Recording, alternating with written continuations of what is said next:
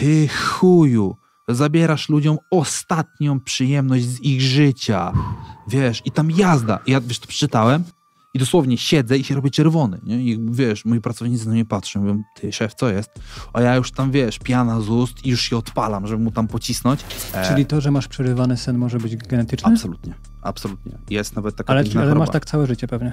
E, wiesz co, pojawiło się to w pewnym wieku. Ej, to ja też tak mam, to mogę mieć gen przerywanego snu? Możesz mieć. Możesz mieć gen, który jest skorelowany z tym, że e, ten sen będzie zaburzony i y, to, że jesteś obciążony jakimś zaburzeniem genetycznie, nie zawsze wychodzi, jakby wiesz, rodzisz się z tym, ale przez całe życie na przykład ten, jakby ten gen czy ten SNP może się nie uaktywnić. Nie? Czyli jakby mhm. wiesz, masz, masz przystawiony pistolet do skroni, no ale jakby spust nie jest pociągnięty. Kupował chatę w LA i e, oglądał ze swoją żoną agentem nieruchomości i jakby agent nieruchomości mówi, że ta chata jest taka i taka, no ale nie ma mebli.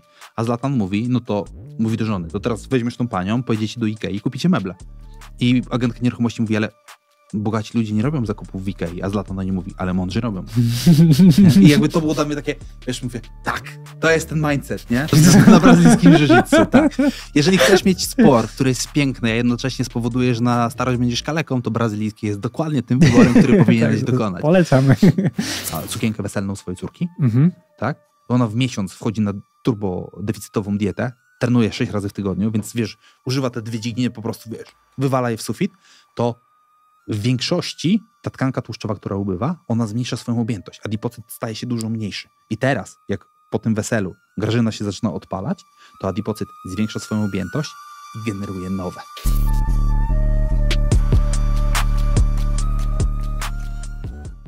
Siemka.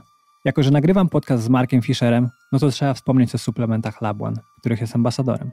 Labuan to polski producent suplementów o mega wysokiej jakości. W końcu Marek Fischer współpracuje z najlepszymi.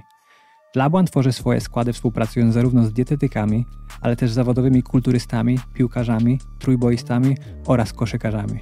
Jak już kupować suple, to lepiej do osób, które zjadły na sporcie oraz w wydajności organizmu zęby. Kazali mi to powiedzieć, więc mówię. Suplementy diety nie są lekami, nie zastąpią zbilansowanej diety. Suplementy diety są uzupełnieniem, dedykowane są osobom pełnoletnim. Dobra, wracamy do podcastu. Marek Fischer. Witam. Dzień dobry. Um, zacznijmy od tego dla ludzi, którzy Cię jeszcze nie znają, żebyś powiedział, czym się zajmujesz. Jestem konsultantem żywieniowym. Z wykształcenia jestem dietetykiem klinicznym ze specjalizacją sportową, czyli takie połączenie dwóch dziedzin. Skończyłem Uniwersytet Medyczny w Szczecinie. Tam jakby kończyłem dietetykę właśnie tą stricte e, kliniczną. Na co dzień zajmuję się pracą z ludźmi z dziedziny sportu, biznesu, przedsiębiorców, olimpijczyków, e, zawodników KSW. Myślę, że takim obecnie jednym z topowych to Robert Ruchała, który jest posiadaczem pasa w kategorii 66 kg. Mhm. Mm. Też jakichś influencerów widziałem, że prowadziłeś. Tak, tak. Jakby miałem przyjemność pracować z Adrianem Salomonem, czyli Meduzą. Miałem przyjemność pracować z Lil Masti. Miałem przyjemność pracować teraz e, z Lizzy mhm. do, do ostatniego fejmu. E, w międzyczasie jeszcze trochę pracy z Zonem, także kilka tych osób do freaków się jak najbardziej pojawiło.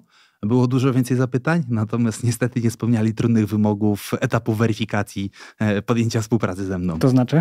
To znaczy, że nie przechodzili procesu e, wypełnienia wszystkich zadań, bo to było na zasadzie ja chcę, ja muszę. Ja mhm. no, niestety, sorry stary. Każdy musi przejść przez dokładnie to samo piekło, każdy musi wykonać dokładnie te same zadania, żebyśmy w ogóle porozmawiali o tym. Jak mindsetowo, bo generalnie jest taka opinia wśród ludzi, nie, nie u mnie, ale wśród ludzi, że ci influencerzy to oni nie są tak mocno zdyscyplinowani i że sobie nie poradzą generalnie w sporcie sportach walki. Natomiast z tego, co do tej pory zauważyłem, to nie do końca jest e, tak i jestem ciekawy, jak twoje doświadczenie w pracy z takimi ludźmi. To jest, wiesz co, świetne pytanie, bardzo lubię, szczególnie w momencie, kiedy rozmawiam z ludźmi, którzy oglądają sporty walki i się nimi jarają, tak jak ty, mhm. bo u ciebie jest e, czysta pasja, tak jak u mnie. I nie wiem, jak to wygląda u innych dietetyków czy innych influencerów, natomiast ci, którzy ze mną pracowali, to tak jak powiedziałem, i to nie było to kolokwialne lizanie tyłka, że to była przyjemność, naprawdę była przyjemność. Lil Masti, tytan pracy, tytan dyscypliny, to była osoba, która potrafiła dwa razy dziennie, trzy razy dziennie do mnie zadzwonić naprawdę z prostymi pytaniami, natomiast wolała zrobić za dobrze, czy zbyt perfekcyjnie, niż nie zrobić perfekcyjnie. Tak? No jakby te, te wszystkie elementy przemian, całej pracy, którą wykonała na przestrzeni e, wszystkich walk, to jest naprawdę coś niesamowitego. Mhm. Więc tam dosłownie były grane trzy treningi dziennie i na cały fight camp życie zawodowca, czyli wszystko podporządkowane pod e, starty. To jest ciekawe, że ci ludzie są tak zdyscyplinowani, bo żeby do, do, mieć takie wyniki biznesowe, z reguły trzeba być. Nie, nie, myślę, że nie jest tak w 100%, ale z reguły trzeba być mega zdyscyplinowany. I mnie to dziwi, że ludzie są tacy właśnie, że o, ci influencerzy to oni są trochę nieogarnięci. Jak to nie jest kurwa prawda, bo oni są mega ogarnięci, skoro są tak wysoko biznesowo. Wiesz, e, tutaj o tym pięknie powiedział Szmeksi, pozdrawiam, mhm. Mm, że nawet sam fakt publikowania treści, generowania treści wymaga od ciebie dyscypliny. Regularnej. Mhm. No Okej, okay, nawet jeżeli masz sztab ludzi, i którzy to robią, to ty nadal musisz dostarczać im content. Mhm. Tak? I to szczególnie jeżeli jesteś na tym top of the top, to ten content musi się mm, zmieniać wprost proporcjonalnie do tego, co się dzieje obecnie w trendach, albo co jest trendy, bo jakby oni nie mają tego przywileju, jeżeli chcą być na topie, żeby być 5 minut za późno. Tak? Mhm. Czyli jakby muszą wykorzystywać to, co obecnie w jakiś sposób tak, czyli to, co zbudowali, ale też trendy, które obecnie są, tak? Czyli jakby teraz skupiamy się na tańcach, tak? Okej, okay, więc oni zaczynają tańczyć, czyli wykorzystują jakby te trendy, bo wybiegliby po prostu z obiegu, tak? Mm, więc to wymaga naprawdę absurdalnej ilości pracy i jakby ktoś, kto, tak jak ja, moje podejście do social mediów jest takie, że gdyby mnie to, e, że mam zawód, jaki mam i jakby jest to jeden z elementów pozyskiwania potencjalnych klientów, to prawdopodobnie bym ich nie posiadał. Prawdopodobnie bym je całkowicie wyrzucił z wielu powodów, e, natomiast to jest naprawdę realna praca.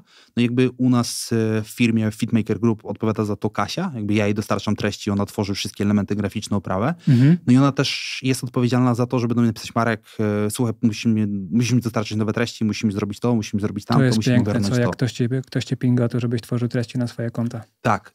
I, I to też był moment, w którym ja jakby, e, Kasia ze mną pracuje od trzech lat, więc jakby już ostatnio jak u ciebie byłem, to ona już e, była w moim teamie. Natomiast moment, kiedy tak naprawdę usiedliśmy do, do takiej pracy realnej nad socialami i takiego podejścia stricte biznesowego, czyli jakby podejście, że ok, dobra, musimy to potraktować jako element naszej pracy, element naszego biznesu i, musimy zainwestować to odpowiednią ilość czasu i odpowiednią ilość energii, e, no to było olbrzymi game changer, jeżeli chodzi w ogóle o jakość tego, co publikujemy, jeżeli chodzi o samo dotarcie, budowanie grupy e, odbiorców, społeczności, wiesz, to, to naprawdę weszło na inny poziom do tego stopnia, że nawet zaczęło mi to sprawiać fan, jeżeli chodzi o e, tworzenie tego kontentu. No bo jeśli widzisz wyniki, to to zawsze jest zabawa, co? I tak jak mam, mam zresztą pewnie widziałaś rozpisane jedno pytanie właśnie o twojego Instagrama, który całkiem nieźle ci poszedł do przodu, odkąd się ostatni, ostatnim razem widzieliśmy. No i to zawsze jest tak, że jeśli coś tworzysz i widzisz, że to daje efekt, no to to jest zajawka dla ciebie, nie? Z jednej strony tak, z drugiej strony, e, ja często rozmawiając z dietetykami, bo jakby prowadzę też trochę takie mentoringi, nie lubię tego słowa mentoringi, natomiast Czemu? Bo jest bardzo wyświechtane i obecnie każdy jest mentorem, a mentor jest takim słowem, uważam, że wybitny. Nie? Że jakby -hmm. nadużywanie słowa mentor. To jest, inni powinni mówić mentor o tobie, a nie odwrót. Co, coś w tym stylu, tak? Jakby to raz, a dwa, że ja to bardziej traktuję na zasadzie takich mm, sprzedaży doświadczenia biznesowego, bo przeszedłem przez wszystkie etapy biznesu dietety, dosłownie przez wszystkie, czyli od bardzo małego gabinetu po prowadzenie e, wielu klientów i przechodząc do klientów niszowych. Pozostanie konsultantem żywieniowym. Tak, pozostanie konsultantem żywieniowym. E, więc też realnie mam, mam doświadczenie, które mogę przekuć i które mogę tym osobom poniekąd sprzedać, ale też przedłożyć. Mhm. E, I zawsze zaznaczam, że tak naprawdę kontekście budowania mocnego, mocnej pozycji, ty wcale nie potrzebujesz mieć zasięgów do 100, 200, 500 tysięcy osób, tak?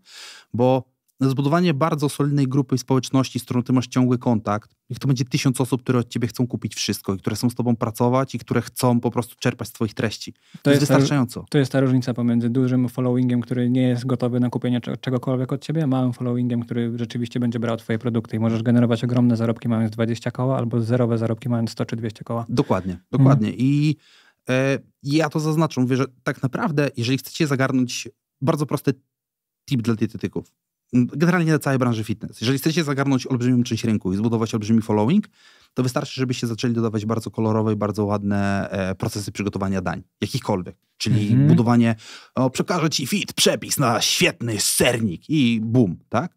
I zobaczycie, jak szybko będziecie rosnąć. Natomiast następnie pojawia się drugi element tego pytania, czy w ogóle drugi element tego celu, co dalej? Bo to, że oni przyszli, super. Ale jaki jest twój cel posiadania takiego followingu? Mhm. Tak? Bo jakby, jeżeli chcesz być y, famous dla bycia famous, tak? Bo, ale będą się komentarze sypały. Nie mógł powiedzieć sławny.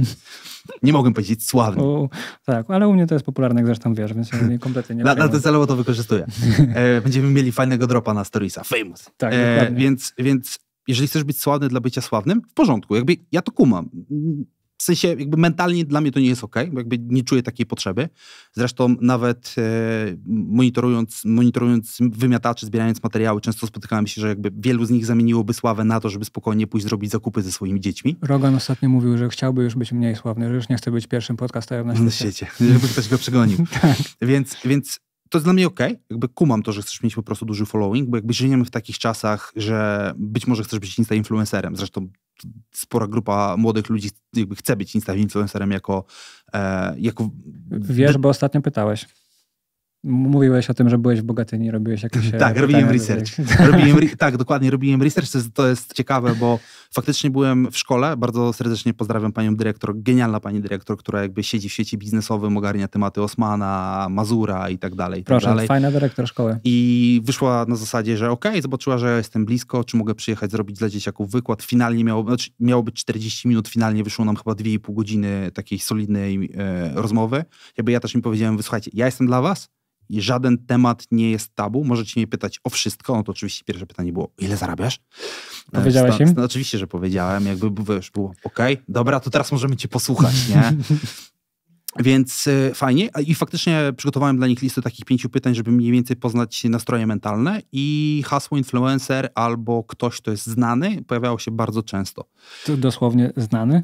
E, e, tak, dosłownie znany, nie? Jakby wiesz, było coś, było, było coś tym, więc jakby ja się trochę nie dziwię, bo wiesz, my się wychowywaliśmy w erze, kiedy chciałeś być piłkarzem, koszykarzem, chciałeś być Jordanem, chciałeś być e, Ronaldo, tak, tylko że dziewiątką, a nie siódemką. Mhm. Chciałeś być e, Zidanem, nie, wiesz, czy chciałeś być Kobim, ewentualnie Lebronem, bo to jeszcze... Natomiast teraz większość z tych ludzi, wiesz, dużo bardziej e, wie, kim jest Lil Masti, niż Jordan, nie? Mhm. Może Jordan jest złym przykładem, bo to mimo wszystko jest legenda sportu, ale niż jakbyśmy wzięli jakiegoś e, zawodnika, nie wiem, Mistrzostw Świata 98, tak? gdzie my mając tam 7-8 lat jaraliśmy się, wiesz, ja dzisiaj jestem e, Ronaldo, albo ja dzisiaj jestem Materazzi, nie?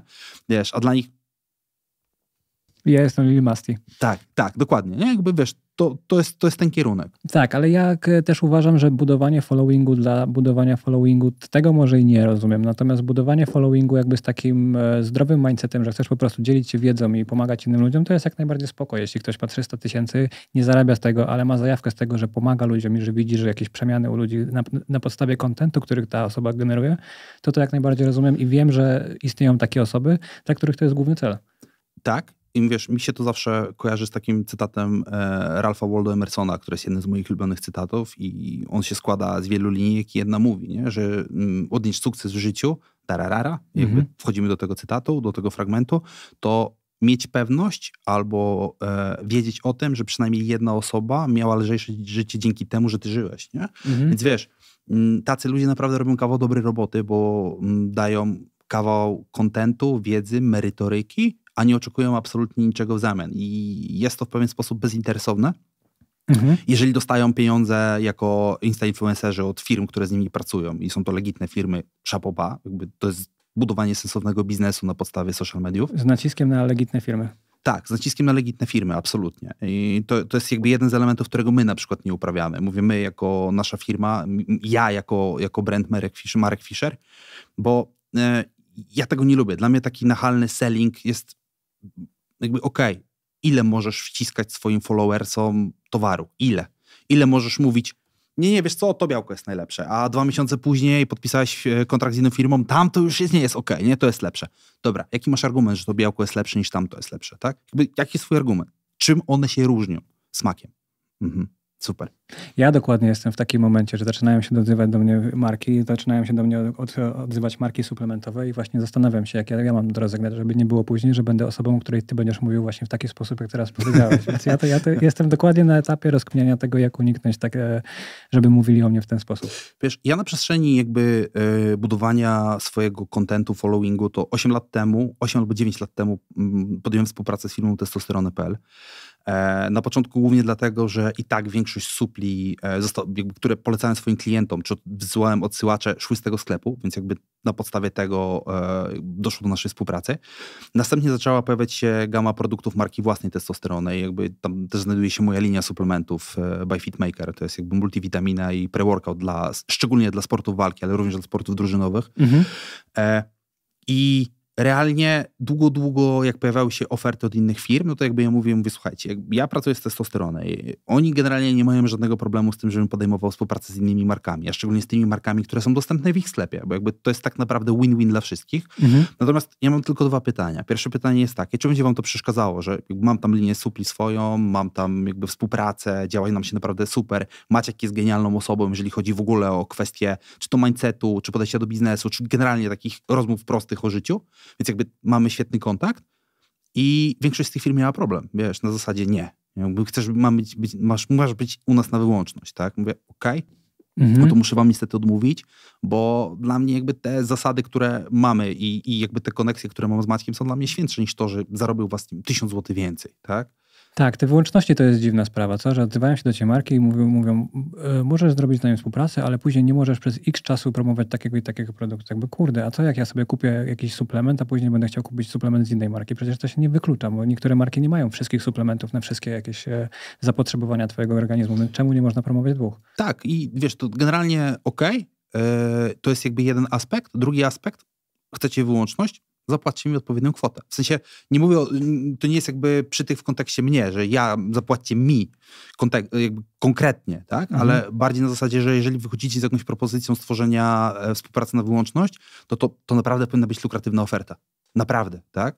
Bo mm, jednym z tych elementów i tych problemów związanych z firmami suplementacyjnymi jest to, że bardzo często e, mamy tak podobne suplementy w firmie A i w firmie B, że tak naprawdę nie ma absolutnie różnicy pomiędzy tym, który suplement polecisz, bo każdy z nich będzie generował taki sam efekt. Tak? Mhm. No jakby to też jest drugi element, o którym ja mówiłem. W jaki sposób będziemy promować albo, e, albo w jaki sposób będziemy mm, działać unikatowo na e, rynku, czyli co zrobimy innego niż wszyscy, żeby to było fajne, żeby to było naprawdę ciekawe, żebyśmy dali mm, wartości dla tych ludzi. A z drugiej strony, e, co jesteśmy w stanie zrobić naprawdę unikalnego na e, linii, czy jakby na rynku polskim, jeżeli chodzi o suplementację. Jakby stwórzmy taki produkt, którego nie stworzył nikt inny. Albo wejdźmy w niszę, która ma naprawdę zapotrzebowanie na dany produkt, tak? typu męska płodność. Nie ma wielu dobrych produktów, a nawet myślę, że może są jeden, dwa, które mi przychodzą do głowy, które są konkretnie w kontekście męskiej płodności. One się nazywają libidomen, coś tam? Coś, e, właściwie libidomen to generalnie jest bardziej w kontekście e, samego libido, czy generalnie tej gospodarki hormonalnej, tak? Mhm. E, ale tak naprawdę i, i właśnie tą drugą firmą, która tak naprawdę poszła na tą współpracę, to jest Labuan. E, ale, dzisiaj po, będzie, ale, ale, ale, dzisiaj będzie promocyjny podcast. Nie? Będziemy sprzedawać się przez następne dwie godziny, będziemy ciągle robić cross-selling. E, natomiast. Mi to w ogóle nie przeszkadza, jak wspominasz o jakichś markach. Zresztą to jest normalne. No, jak gadamy o czymś i używasz jakichś produktów, to o nich wspominasz. To jest po prostu normalne. A, absolutnie. I natomiast... Jeśli spotkalibyśmy się face to face i gadali broń ze sobą, też byś mi powiedział. Dokładnie, dokładnie. Wiesz, i, i, tutaj dużym plusem było to, że faktycznie, jak ja powiedziałem, że taki, jednym, z głównych, jednym z głównych warunków współpracy jest to, że mam e, dalej otwarte karty z testo, no to oni powiedzieli spoko, nam to nie przeszkadza. Jakby oni przecież i tak sprzedają nasze produkty. Mhm. Tak? Mówię super, świetnie. I faktycznie, jak przejrzałem sobie ich katalog produktów, to jest wiele produktów, które dla mnie są świetne, są naprawdę składowo e, takie, jakie ja bym chciał, żeby moi pacjenci brali. Jeden z takich produktów jest na przykład Zen Night i to jest mega produkt, bo on nie ma melatoniny w składzie. Wiesz, in, Czyli moi... coś na sen bez melatoniny. Dokładnie, bo moi pacjenci dzielą się na dwie grupy. Tacy, którzy reagują dobrze na melatoninę i tacy, którzy reagują źle. I teraz nagle się okazuje, że masz kogoś, kto nie może brać melatoniny, a w każdym staku suplementacyjnym na noc masz melatoninę. Mhm. I jakby, okej, okay, nagle musisz tej osobie zaproponować pięć różnych suplementów po to, żeby uzyskać ten efekt, który chciałbyś na przykład uzyskać, dając jeden produkt. To co się bierze w takim razie na sen, jeśli to nie jest melatonina? E, wiesz, bo to, to, to jest genialne pytanie, bo tak naprawdę melatonina została stworzona po to, żebyśmy ogarniali sobie zaburzenia rytmu dobowego. To mhm. znaczy, że zmieniamy strefę czasową, załóżmy, przesuwa się to o 3 godziny, no i no. jakby chcemy jak najszybciej e, zwalczyć tego, no to jest 3 godziny, to jest krótki jetlag, tak? Ale chcesz jak najszybciej e, ogarnąć ten rytm dobowy w twoim ciele, żebyś się dostosował do nowego czasu, tak? I, więc żeby to nie trwało tydzień, dwa i tak dalej, i tak dalej. Więc dobrym dawkowaniem melatoniny możemy to ogarnąć dwie, trzy doby, tak? I to rzeczywiście działa? Resetuje w ten sposób ten... Tak, przesuwasz, jakby mhm. przesuwasz, nie? No bo jakby sam decydujesz o tym, kiedy dostarczasz tą melatoninę, nie jesteśmy zdani stricte na e, to, jak zachowuje się nasz organizm i to, jak działa nasz rytm dobowy, jak jest zdestabilizowany. Albo na przykład my, Przemek Górczyk planuje przesunąć chodzenie spać na 21. No to to jest dokładnie ten sam game plan. Wprowadzamy melatoninę, zaczynamy przesuwać ten rytm dobowy. Albo po prostu idziemy spać o 21. E, wiesz, jeżeli ktoś chodzi spać o 24 i nagle ma iść 3 godziny wcześniej spać, no to może być ciężkie. Tak? Przemęczy się dwa dni i zacznie zasypiać o 21. I to jest dokładnie badanie, to jest dokładnie wpływanie na rytm dobowy. Tak? Mhm. Tylko wiesz, jak pójdziesz spać o 21, pierwszą noc, drugą noc, to prawdopodobnie też wstaniesz relatywnie wcześniej. Więc to też będzie przesuwało twój rytm dobowy. Szybciej wystawisz się na działanie promieni słonecznych. To też będzie przesuwało na twój rytm dobowy. Większość osób idzie wcześniej spać, żeby rano wstać na trening. To też będzie przesuwało twój rytm dobowy. Nie? Czyli o co chodzi z tą melatoniną? Dlaczego, raz, dlaczego osoby niektóre źle na nią reagują, a dwa, jakie są suple, jeśli nie melatonina? Bo z tego, co ja się orientowałem, to melatonina chyba jest najlepszym suplem na pewno jest najlepiej przebadanym i na pewno ma test medyczny, czyli jakby możemy go znaleźć w takim ingrediencie farmakologicznym i jest e, zarejestrowany jako lek. Bo to normalnie w aptece można kupić, Dokładnie, nie? Mhm. dokładnie, w formie leku. Jeżeli coś jest w formie leku, to musi mieć przejść tam przez e, szereg badań, musi mieć szereg udowodnionych e, działań, skuteczności. Tak więc jakby to jest różnica między suplementem a lekiem, między innymi. I patent polega na tym, że melatonina przede wszystkim ogarnia ten rytm dobowy, a e, uśmiechnąłeś się, bo masz wrażenie, że już, już wiesz, co się wydarzyło. o tym powiemy później. E, Dokładnie dlatego. Nieźle, dru- mnie- nieźle mnie wyczytałeś trochę. No, no, no nieźle. E, Więc drugim elementem, jeżeli chodzi o kontekst stosowania melatoniny, jest e, krócenie latencji, czyli jakby czasu, który jest ci potrzebny do zaśnięcia. Problem polega na tym, że wielu pacjentów czy wiele osób po zastosowaniu melatoniny ma opcję wybudzania się po 3, 4, 5 godzinach od zażycia i ma problem, żeby zasnąć później dalej. Czyli jakby e, wrzucasz sobie taką tabletkę, bum, odcina cię, jesteś na 5 godzin odcięty, ale budzisz się na przykład o drugiej w nocy i już masz problem, żeby dalej spać, tak? Włącza się bieg myśli i już nie jesteś w stanie. Dokładnie, Mhm. dokładnie. I jakby to nie jest rozwiązanie uniwersalne dla wszystkich. Są takie osoby, które na przykład czują się genialnie, jakby nie mają tego problemu, no ale jest gro osób, które ma ten problem, tak? I tutaj mamy do wykorzystania kilka elementów, na przykład e, takim fajnym produktem czy fajnym e, elementem jest ekstrakt z szafranu. Szafran sprawdza się genialnie, jeżeli chodzi o latencję snu, o długość snu, głębokość. Mamy na przykład e, ashwagandę, o której mówiliśmy w pierwszym odcinku. Jeżeli ktoś nie oglądał, to odsyłam, bo o adaptogenach mówiliśmy tam naprawdę turbo dużo. Tak, i to w wielu innych podcastach wspominaliśmy o szwagandzie. Tak, więc mamy ashwagandę, mamy chmiel, ekstrakt chmielu. Jakby tu też mamy informacje i, i doniesienia naukowe o tym, że ekstrakt chmielu, nawet piwo bezalkoholowe, poprawia latencję snu, poprawia jakość snu, zwiększa ilość snu głębokiego. Mhm. Mm, Czyli te twoje suple wpływają dobrze na sen, bo teraz z tego co słyszałem, to melatoninę, jeśli zażyjesz melatoninę, to rzeczywiście idziesz spać, natomiast ten sen nie jest doskonały. Nie wchodzisz w jakieś tam fazy snu i to nie, i to nie jest taki sen, jakbyś normalnie rzeczywiście się wyspał. Czyli jeśli bierzesz suple bez melatoniny, to jak, jak to wpływa na sen? może zwiększać, niektóre, tak naprawdę wszystko zależy od ekstraktu, jaki stosujemy. Część z nich może skracać latencję, czyli ten czas potrzebny do zaśnięcia. Część z nich może poprawiać ilość głębokiego snu. Część z nich może wpływać na ilość fazy REM. Tak? Mhm. W zależności jaki to jest ekstrakt, w zależności jaka to jest roślina, czy jaki to jest składnik aktywny danej rośliny, to możemy uzyskiwać różny efekt. Tak? Czyli jakby na przykład chmiel może wpływać na latencję snu i na głębokość snu. Tak? Ale powiedziałeś o konkretnym suplu, który jest, powiedziałeś, że normalnie gdyby nie melatonina, to musiałbyś kupować pięć różnych supli. Powiedziałeś, że jest jakiś Dokładnie. konkretny supl bez e, melatoniny, który w, rozumiem, że wpływa na to wszystko. Tak, Zen Night. To jest Mhm. dokładnie produkt Labuana, Zen Night, gdzie znajdujemy ekstrakt chmielu, ekstrakt szafranu, ashwagandę i jeszcze jakieś dwa ekstrakty dodatkowe. Nie pamiętam teraz dokładnie całego składu, ale te trzy rzeczy, które dla mnie są super, to właśnie ekstrakt z chmielu, ekstrakt z szafranu i ashwaganda. One są genialne, jeżeli chodzi o poprawę jakości snu, latencji, mm, uzyskiwanie odpowiedniej ilości snu głębokiego. Czyli to, to będzie wpływało na to, że ten sen rzeczywiście będzie taki po- porządny, nie będzie taki udawanym snem. Czyli jakby nie tylko skrócimy czas potrzebny do tego, żebyś zasnął, ale też wpłyniemy na poprawę e, snu głębokiego i na zwiększenie ilości fazy REM. Chociaż z tym REM to też tak wygląda, że jak za dużo, no to nie jest to turbo pożądane. Czyli to jest ten twój stack na sen, czy jeszcze coś dodatkowego wrzucasz? Nie, to, jakby, to już jest ten jeden produkt, który absolutnie wystarczy. Czyli ty to bierzesz, bo mówiłeś, że masz jakiś super stack na sen, który bierzesz i który To, na to ciebie... dokładnie wybieram. Okej. Poza melatoniną. To jest jakby to, z czego korzystam. I melatoniny nie możesz brać, na ciebie źle działa? Znaczy, ja, ja korzystam, ja używam melatoniny.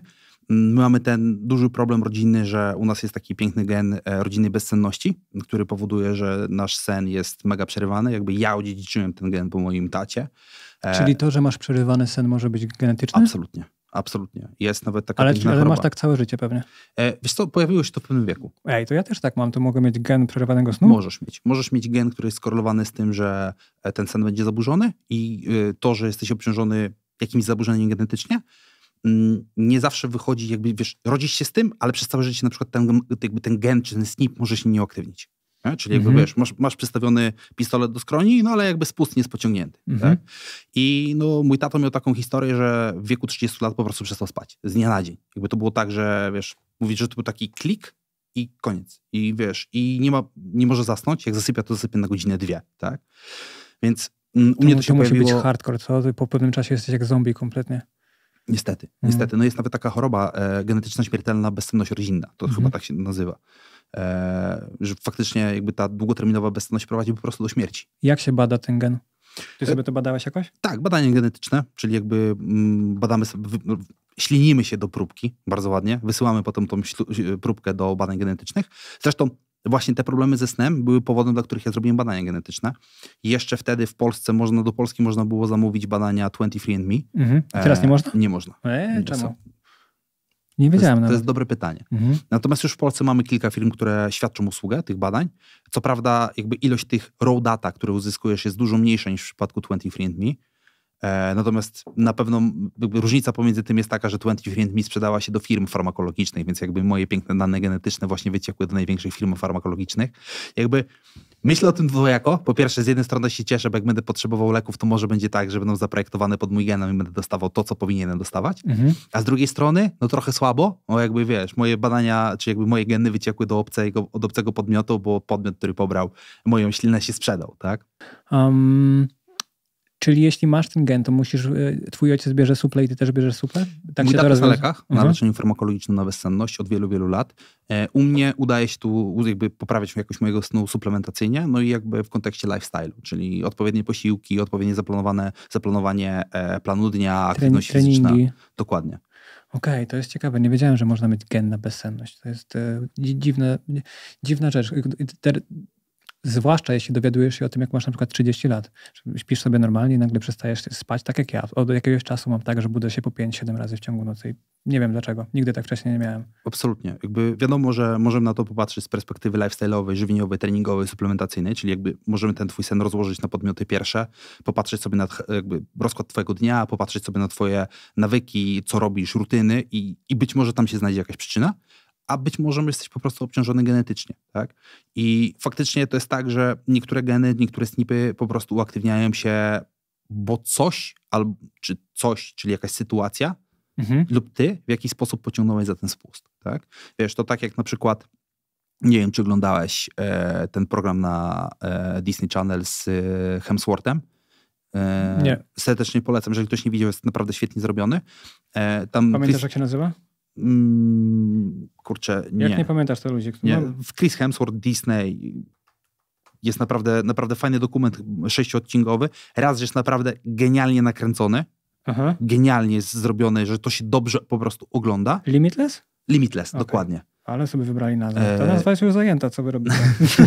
I dotyczy pigułek, nie? I dotyczy Dokładnie. pi- NZT. Dokładnie. E, więc, więc jest świetny. Raz, że jest świetnie nakręcony, po prostu dobrze się go ogląda. Dwa, że robią naprawdę e, ciężkie i trudne, ekstremalne eksperymenty, na przykład surfowanie na Morzu Arktycznym. Mhm. Więc jakby fajnie się to, fajnie się to ogląda, patrzysz na to, tak jak wiesz, na, obe, obecnie na Roberta Karasia, który próbuje pobić rekord e, dziesięciokrotnego Ironmana. To jest, hardcore, co? Widziałeś, że już wycięli mu klapki i dziury na... na... Ja pierdolę. E, to jest zaprzeczenie wszystkich praw fizjologii i biochemii. Mhm. Wiesz, to jest tak, że studiujesz to, uczysz się tego, rozkładasz to na czynniki pierwsze, a potem przychodzi taki karaś i on ci mówi, stary, to wszystko, czego się nauczyłeś, to wszystko, co wiesz, jest gówno warte. Jak ty do tego podchodzisz? Właśnie to dla ciebie to musi być wyjątkowo trudne, jeśli, jeśli to zaprzecza wszystkiemu, co ty wiesz tak naprawdę. E, czy- z jednej strony zaprzecza, a z drugiej strony pokazuje tą naszą e, indywidualność e, genetyczną. To, że też poniekąd jesteśmy wypadkową tej loterii genetycznej, którą dostaliśmy. E, wiesz, jakby tutaj trochę mm, sprawdzając to rzeczy, o których wiem. Na przykład, wiesz, mamy taki e, wskaźnik, który nazywa się HRV. Mhm. HRV bada jakby ten twój cykl zmienności pracy serca. I teraz im większa zmienność pracy serca, tym większa zdatność twojego ciała czy twojego układu nerwowego do podjęcia wysiłku fizycznego. Mhm. I ona może być genetyczna. To znaczy, że jakby ty możesz chcieć mieć wysokie, ale twoje geny mogą ci powiedzieć, stary, to, że ty chcesz, to nie znaczy, że możesz. Nie? Czyli jak to ktoś kiedyś ładnie mówił, że zostaw królowi to, co królewskie, tak? Mhm. I teraz ja na przykład porównując to z Alicją Pyszką Barząd, Fidalo, serdecznie pozdrawiam, e, Będzie, Ona- w końcu się doprosiłem, jak ktoś będzie u mnie w podcaście. fenomenalnie. Ala, Ala, Ala jest genialną personą, wiesz. Także będziecie siedzieli tu dwie godziny z bananem na ustach. Mam nadzieję, czekam na to. I Ala na przykład ma, wiesz, ona mówi, moje niskie HRV 160. Ja w topie. Takie tydzień regeneracji, sauny, zimna, żarcia, wiesz, supli 65. I to jest moje najwyższe HRV, jakie uzyskałem. Na przestrzeni czterech lat pomiarów. To jest nie, nie, niezła różnica, I- co? I po, I po prostu tak defaultowo. tak, tak i dokładnie tak defaultowo, tak? I teraz, wiesz, mamy coraz więcej... bo ostatnio też robiłem badania, sprawdzam, czy ja też mam to w badaniach, ale chyba nie mam. Nie, nie mam tego. Wydawało mi się, że mam. Nieważne. E, I teraz jak sobie na to patrzysz, to mamy coraz więcej publikacji mówiących o tych, że faktycznie topowi atleci mają wysokie HRV. Mhm. Mają tą, wiesz, taki top of the top, mają turbo wysokie HRV. Czyli są tak? przystosowani genetycznie do takiego Dokładnie. wysiłku. Czyli Mają to- Googins pewnie też takie coś ma. Bardzo duża szansa. Podejrzewam, że on tego nie monitoruje, ale jest duża szansa, że, że dokładnie tak to wygląda, tak? Czyli myślisz, jak patrzysz na Karasia, to myślisz o tym, że to jest po prostu taki, oczywiście nie odejmując mu żadnej ciężkiej pracy, bo tego nie można mu ująć, ale myślisz, że to jest te- też w dużej mierze genetyczne. Znaczy, ja myślę, że w dużej mierze to jest na pewno ciężka praca i to Mhm. w przeważającej mierze to jest ciężka praca, natomiast na pewno e, ma geny, które do niego jakby predysponują to e, jego do robienia tych rzeczy, które robi, tak? Mhm. Wiesz, no wyobraź sobie, że ty wkładasz dokładnie tą samą. Inaczej, dużo lepszy przykład. Weźmy Lensa, Lensa Armstronga. Tak? Każdy wie, kim jest. Le- Jeżeli nie wiecie, kim jest Lance Armstrong, to sobie wygooglujcie. To nie jest naprawdę trudne. Albo zapytajcie chat GPT. Dokładnie. E, I teraz Armstrong wpadł na dopingu. I to dosyć dużym. EPO, testosteron, jakby grubo się działo. Jakby jedna z największych historii antydopingowych, e, wygenerowanych przez e, firmy antydopingowe, bo to jakby WADA jest firmą poniekąd. E, I tam, tam się działo grubo. I teraz jest taki świetny dokument na Netflixie, który nazywa się Icarus, m, czy część tego fragmentu opowiada o tym cyklu, gdzie mm, zawodnik, który jest kolarzem półzawodowym albo amatorskim, w każdym razie nie jest to na poziomie e, zawodowym, przechodzi dokładnie ten sam cykl sterydowy, co Lance Armstrong. I nie ma podjazdu Jeden do nawet. jeden. I nie ma podjazdu. Wiesz, on, on jakby przeniósł się względem poprzedniego roku o 8, 9, 10 pozycji, tak? Wiesz, dobra. I teraz patrzysz na to i mówisz, okej, to jaka jest różnica? Różnica jest taka, że Armstrong nie byłby Armstrongiem, gdyby się nie urodził Armstrongiem. Po prostu. Jordan nie byłby Jordanem, gdyby nie urodził się Jordanem. Kobe nie byłby Kobim, tak? LeBron nie byłby LeBronem, Ronaldo nie był i tak dalej, i tak dalej, i tak dalej. To jest bardzo nieprzyjemna świadomość, co? Bardzo, bardzo. Jakby, wiesz, sytuacja, kiedy dowiadujesz się, że na pewno część z nich oprócz, czy jakby nawet ciężka praca, to dobrze, tam 80%, to jest ta ich naprawdę solidna, ciężka praca, tak? Mhm. Ale wiesz, że te 20% to jest to coś, nie? To No, jest ten, nawet sam wzrost o tym świadczy, nie? Jeśli ktoś jest ode mnie wyższy 30 centymetrów, no to no, to, no na starcie jest, jesteś jest, przegrany. jest nie? problem trochę. Jesteś, jesteś na starcie przegrany, więc e, my wiemy, że ten pierwiastek genetyczny odgrywa niesamowicie dużą rolę w tym, jak będziesz predysponowany do pewnego rodzaju wysiłków. Wiesz, jakby to, jakie, jakie ścięgna przeważają w twoim organizmie. Czy to są szybko kurczliwe, czy wolno kurczliwe, czy to cię będzie predysponowało do sprintu, czy będzie cię predysponowało do maratonu, tak? Mhm. Wiesz, jeżeli jesteś predysponowany do maratonu, to prawdopodobnie nie będziesz dobrym crossfiterem albo dobrym sprinterem, bo A tutaj wchodzi Mariusz Pudzianowski i robi dziwne rzeczy, bo najpierw jest w kulturystyce, cierpliwy a gotuje kamień i potem wchodzi do MMA i wiesz, i... to jest po prostu niesamowite. No ale to jest dokładnie przykład ciężkiej pracy. Wiesz, to jest dokładnie przykład ciężkiej pracy. No, Bo tam są potrzebne inne włókna, do MMA są potrzebne inne włókna, te szybko skurczy, I skurczliwe, tak, tak? i nie. Jakby, i tak, znaczy, na pewno jeżeli mówimy o strongmanach i MMA, no to ta definicja sportu jest zupełnie inna. To są zupełnie, in, zupełnie inna praca, zupełnie inny wysiłek, e, zupełnie inna charakterystyka napięcia mięśniowego, wykorzystania tlenu czy bez tlenu. Nie? Jakby to co innego. Natomiast wiesz, patrzymy na przemianę Pudziana, który 13 lat jest w 13 MMA? lat, 13 lat. No to Ja nie wiem, ile on ma lat tak swoją drogą, ale on ma pewnie... 44 chyba. Dostałem tyle zapytań o analizę Mariusza w narzy- 46. 46. Mhm. Panie Mariuszu, odjąłem, proszę zapamiętać. tak, to jest, to jest niesamowita osoba. Ty powiedziałeś mi pierwszą piękną rzecz, jak odpowiadałeś na moje story. Ktoś mnie zapytał o to, co zrobić, jeśli okazało się, że nie będzie, ktoś nie będzie gwiazdą w danym sporcie. I pamiętam, że mi odpowiedziałeś na to, że jeśli już wiesz, że jesteś w jakimś sporcie, który kochasz, ale że wiesz, że nie będziesz mógł robić w nim wyników, bo się zorientowałeś właśnie, że nie masz na przykład genetyki, to możesz starać się pomóc osobom, które, które mają geny, stać się najlepszymi w tym sporcie. To było po prostu przepiękne. Jak to napisałeś mi, to ja myślę, kurwa, to jest po prostu genialne. To jest moja dewizja, bo Mhm. jakby ja na przykład kocham brazylijskie jiu-jitsu i kocham MMA. I na przykład uwielbiam te sporty. Te, sporty są dla mnie genialne. I bardzo często moi zawodnicy, którzy ze mną rozmawiają, mówią mi, stary, ty byłbyś zajebistym analitykiem. Ja mówię, no kocham to. Jakby, Jesteś wiesz, analitykiem w gruncie rzeczy, tylko w tym aspekcie takim Tak. dietetyczno-sportowym. Tak, i to jest na przykład ciekawe, ale do tego zaraz wrócę i opowiem taką mega fajną historię. Mhm. E, I wiesz, ja na przykład, moje ciało absolutnie nie znosi obciążeń brazylijskiego jiu-jitsu. W sensie mogę potrenować pół roku, mogę potrenować rok, ale finalnie tak się też skończy jakąś kontuzją. Mm, czyli gdzieś dalej z tego nie wyleczyłeś. Moje powroty do brazylijskiego to są takie, że są 3-4 miesiące super i nagle jest kontuzja. To ja bym ci chciał tylko powiedzieć, że teraz jak siedzę w ten sposób i obniżę barki, to od razu bolą mnie plecy, to tego, bo ostatnio byłem na Na, jiu-jitsu. na brazylijskim jiu-jitsu, tak. Jeżeli chcesz mieć sport, który jest piękny, a jednocześnie spowoduje, że na starość będziesz kaleką, to brazylijski jest dokładnie tym wyborem, który powinieneś Tak, dokonać. Polecamy. E, I faktycznie wiem, że jakby podejrzewam, że nie będę odnosił turbo sukcesu w brazylijskim. Natomiast przerzucam się na boks i boksując mogę robić 3-4 treningi pod rząd. Nie katujecie to, tak? I moje HRV jest na przykład, wiesz, takie, których nie osiągam robiąc treningi siłowe. Tak? Okej. Jestem w stanie, e, ostatnio Miodożerowi wysyłałem, Marcin Zając, to mój coach od przygotowania e, performance i tak dalej, i tak dalej. I wysyłałem mu właśnie nagrywki z boksu. I on mi mówi, stary, ty przez 15 minut zachowujesz pełen fokus na tarczach, nie popełniasz żadnego błędu, robisz pełną pracę na skupieniu, na wysokiej intensywności, jakbyś był w fight campie. Jak to jest możliwe? Jak to jest możliwe, że jest taka różnica pomiędzy boksem a jiu-jitsu? Ja, zakładam, że dla mnie jiu-jitsu na pewno jest dużo bardziej wymagające mentalnie, o czym rozmawialiśmy ostatnio, Mhm. że jakby to są poniekąd szachy. Tylko różnica jest taka, że nie zbijasz pionków, tylko dusisz partnera. I jesteś w pełnym napięciu non-stop. Dokładnie. Musisz Jesteś pełnym- myśle, myśląc i jednocześnie musisz robić te wszystkie ruchy. Tak, albo bronisz, albo atakujesz. Mhm. I teraz broniąc się, modlisz o to, żeby cię y, twój sparring partner albo zawodnik nie udusił, nie urwał albo cokolwiek innego, a z kolei atakując myślisz o tym, że musisz mu urwać łeb, urwać nogę, rękę i tak dalej, i tak dalej. Więc jakby całe drillowanie e, tych poszczególnych ruchów jest bardzo wymagające mentalnie, więc jakby tu jest duży wysiłek, bo Mhm. mimo wszystko e, nie ujmując niczego boksowi, bo mój y, trener Łukasz Wierzbicki mnie zabije. E, jak- Ale jak- jest bardziej w obciążający jiu-jitsu, no bez jaj. Ja chodziłem też chodzi- na taekwondo i to, to też jest wymagające, ale to jest w ogóle nie ma żadnego absolutnie, Absolutnie. podjazdu. To nawet nie jest Absolutnie. blisko, kurwa. Absolutnie, ja się z tym zgadzam. Mhm. Ja się z tym zgadzam, nawet w kontekście jakby y, ilości akcji, które masz do zrobienia, tak? Mhm. Wiesz, jakby ta ilość kombinacji, które masz w boksie jest poniekąd ograni- ograniczona, będąc nieograniczona. Samo to, że możesz odejść od zawodnika i sobie poskakać gdzieś obok, jakoś od niego uciec, a tutaj nie ma ucieczki, tutaj jesteś non-stop w napięciu. Tak, tak. Mhm. Więc, więc jakby to dokładnie ta moja miłość do e, brazylijskiego MMA przełożyło się na to, że pracuję z tymi zawodnikami. Jakby mam z tego super mega fan i przełożyło się na to, że większość zawodników, jak ze mną rozmawia, to dostaje ode mnie pytanie, jak wchodzimy do fight campu, e, z kim walczysz? Mhm. No jeszcze nie wiem. Okej, to jest turbo istotny aspekt, bo jeżeli ułożysz ze swoim head coachem plan na walkę z danym zawodnikiem, to założenia dietetyczne mogą być diametralnie inne.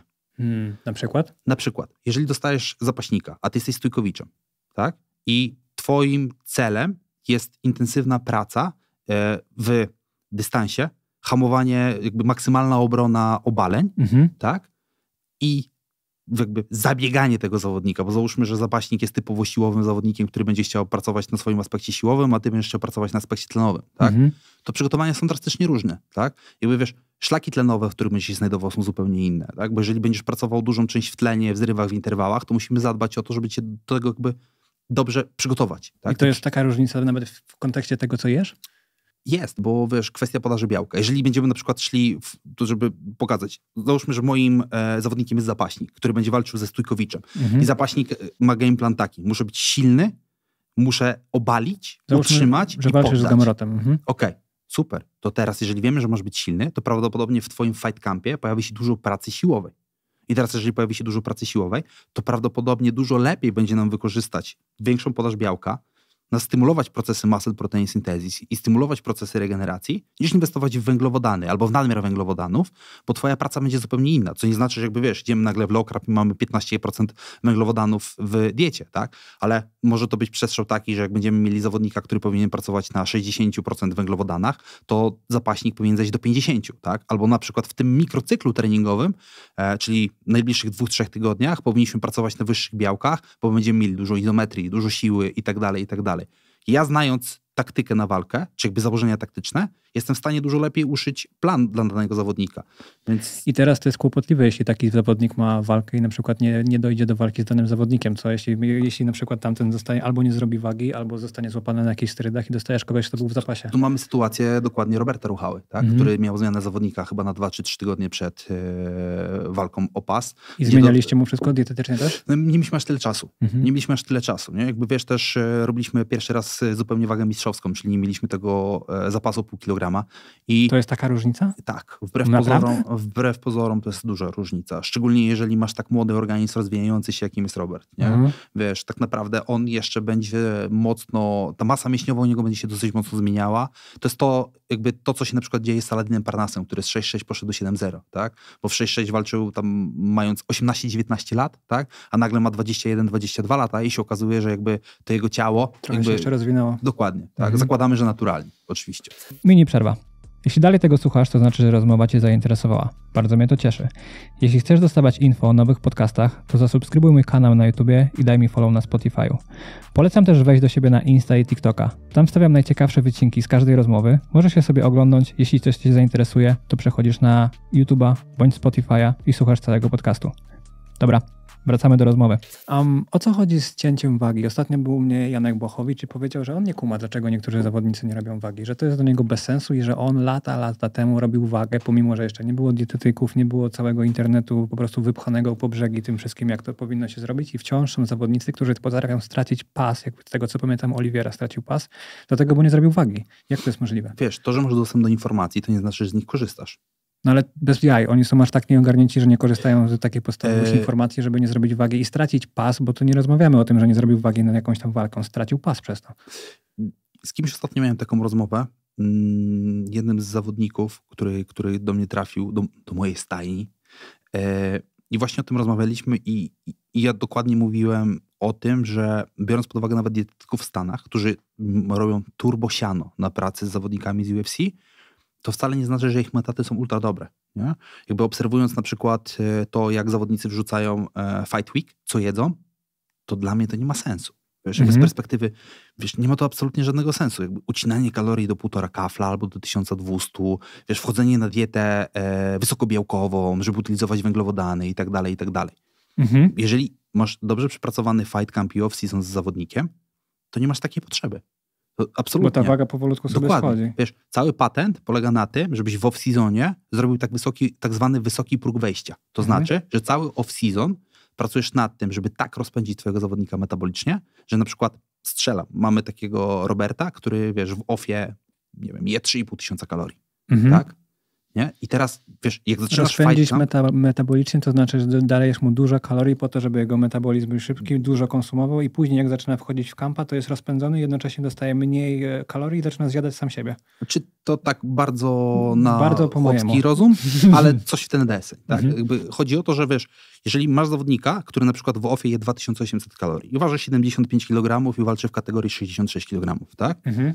I nagle dochodzi do tego zwiększenie jednostek treningowych, i dochodzi do sytuacji, w której on musi robić wagę, tak? To nagle, wiesz, on schodzi z jednej do dwóch jednostek treningowych i je 2,5 tysiąca kalorii i generalnie musisz y, mu wykreować deficyt.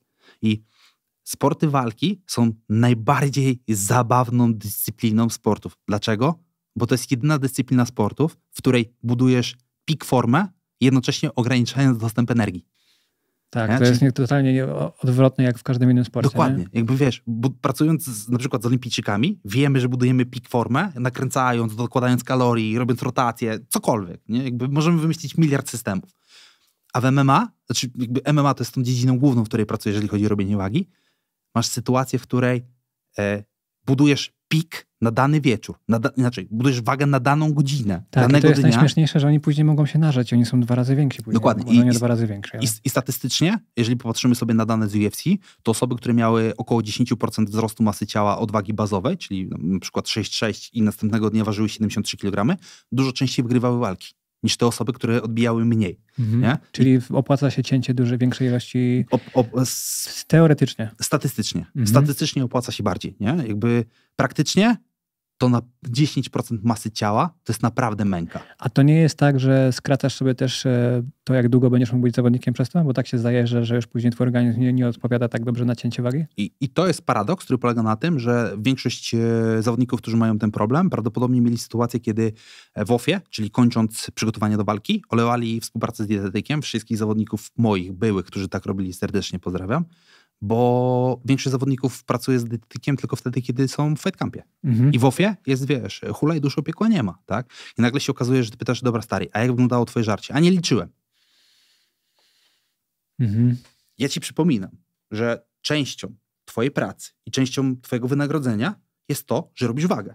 Więc off-season jest miejscem, gdzie, ty, gdzie ja mam miejsca na to, żeby usprawnić twój organizm, żeby ogarnąć te kwestie żywieniowe, żeby pomóc ci naprawić mikrourazy, przepraszam, spoko, spoko. żeby pomóc naprawić ci mikrourazy. Jeżeli ja nie wiem, jak ty się prowadzisz, to jak ja mam to zrobić?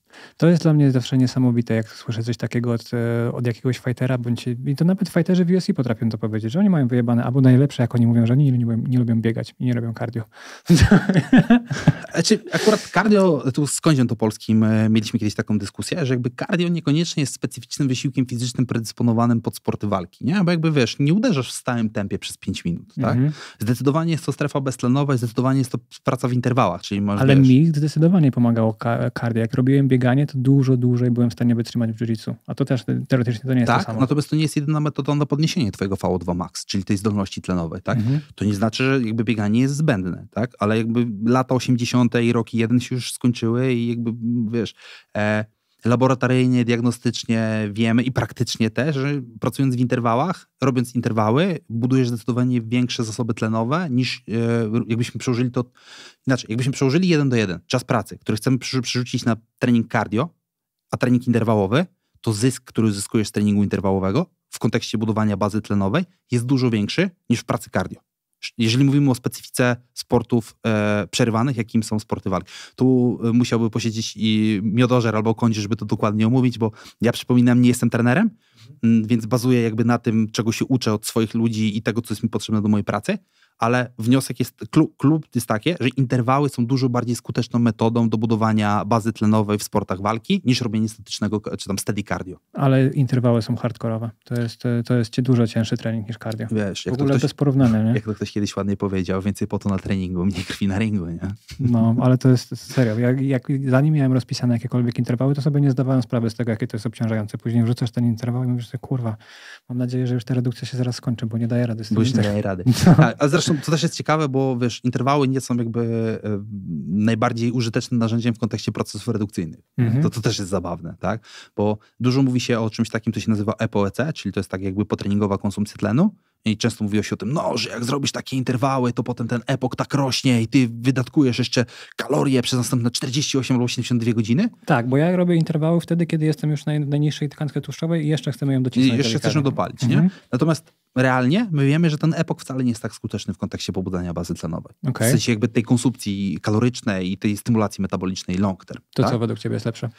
Jeżeli miałbym wybrać coś, co będzie bardziej efektywne w kontekście pracy redukcyjnej, to myślę, że to byłby e, albo bym ograniczył czas przeznaczony na interwały, poszedłbym w realną pracę steady cardio, czyli jakby Po na, prostu bieganie na przykład. Dokładnie, jakby i to najlepiej na stałym tempie albo na małej zmienności tego tempa. E, I zostawiłbym interwały bardziej jako element, który będzie wpływał na de facto poprawę tej bazy tlenowej i poprawę długowieczności Twojego życia, bo jakby to też jest mega istotny element w, przy pracy interwałowej, niż jako główny czynnik determinujący spalanie tkanki tłuszczowej. Okej, okay, to jest ciekawe. Ja ostatnio. E, robisz schody u siebie? Jak trenujesz? Nie mamy Stairmastera. W sensie, wiesz, ja trenuję e, na naszej sali brazylijskiego jiu więc ten cały, e, jak będziesz wycinał na e, TikToka, to koniecznie musisz wyciąć jiu bo jak powiedziałem, mamy jedną taką rolkę u nas na TikTok, tak mamy TikToka. Na, na, na TikToku to po prostu mam chyba 700 komentarzy, komentarzy jiu-jitsu, jiu-jitsu, tak, mm, moi to, drodzy. To nie po... tylko u mnie w takim razie. Tak, poprawna wymowa tego słowa brzmi brazylijskie jiu-jitsu. Dlaczego? Bo jeżeli popatrzymy na mowę natywną, czyli język portugalski, to Portugalczycy, tak, czy Brazylijczycy tak mówią. Oni generalnie tak mówią nawet po angielsku, oni ziu, ziu, nawet, nawet jak mówią ju, to mówią ziu, a nie mówią ju. Tak, bo wiesz, to jest ta różnica na przykład między hiszpańskim a... W kontekście nawet jak mówią ju do ciebie, że ty, a nie tylko jiu-jitsu. Mhm. Na przykład wiesz, jak masz, e, bo ten portugalski jest trochę taki utwardzony, jak masz po hiszpańsku masz buenos dias, to po portugalsku masz bombilla. Mhm. Wiesz, e, czy parbench, nie? Wiesz, jakby masz język, który jest typowo związany z basenem śródziemnomorskim. Wydawałoby się, że to był taki typu włoski, typu, nie wiem, ciao, come stai, tutto posto, wiesz, taki melodyjny, albo hiszpański, buenos dias, que tal amigos i tak dalej, i tak dalej, a nagle masz parbench, nie? Albo bom dia, parbench. Taki to, bardziej morderczy, mam taki, wrażenie. Wiesz, taki e, portugalski to taki język niemiecki. Je, język niemiecki trochę e, basenu śródziemnomorskiego z tymi sz i tak dalej, i tak dalej. Jezu, jak to jakieś języko, językoznawstwo będzie i będzie to słuchało, to powiem, tam zamordują, nie?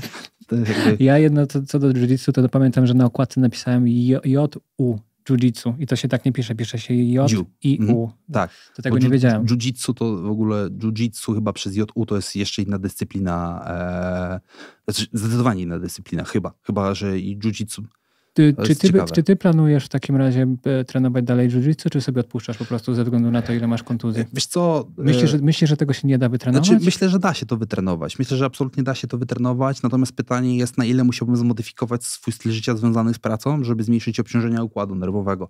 Jakby wiem, że na ten moment jest to absolutnie niemożliwe, jest to nieosiągalne, więc dorosłem do, y, do sytuacji, w której gram tymi kartami, które mam rozdane i nie próbuję oszukiwać kartami spod stołu. Mhm. Wiem, że mam takie karty, wiem, że mogę to robić i też y, na tyle zacieśniłem swoją współpracę z miodożerem, że jeżeli wpadam na jakiś pomysł, to po prostu mu to piszę i dostaję dwie opcje. Tak możesz albo debil.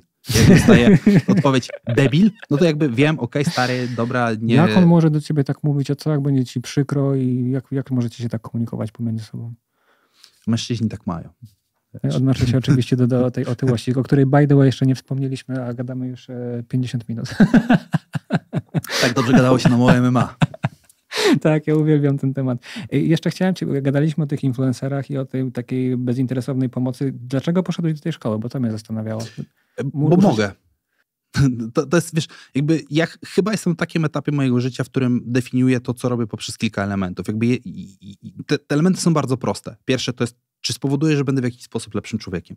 A to spowodowało, bo poszedłem, pogadałem z młodzieżą, poznałem ich punkt widzenia, odbiłem piłeczkę swojego punktu widzenia i nagle okazało się, że mamy wspólny front, jakby mamy nieco inne podejście do życia. No, wynika to z tego, że jesteśmy e, epokowo różni. Tym bardziej, że kiedyś te epoki, wiesz, kiedyś 10 lat różnicy to nie było dużo. Teraz 5 lat różnicy to już jest zupełnie praca na innym portalu społecznościowym, tak?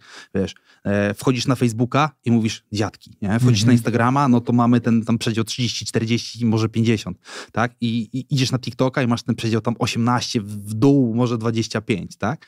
Więc jakby, wiesz, okazało się, że mamy wiele wspólnych frontów widzenia. Oni naprawdę zaskoczyli mnie byciem mega świadomymi młodymi ludźmi.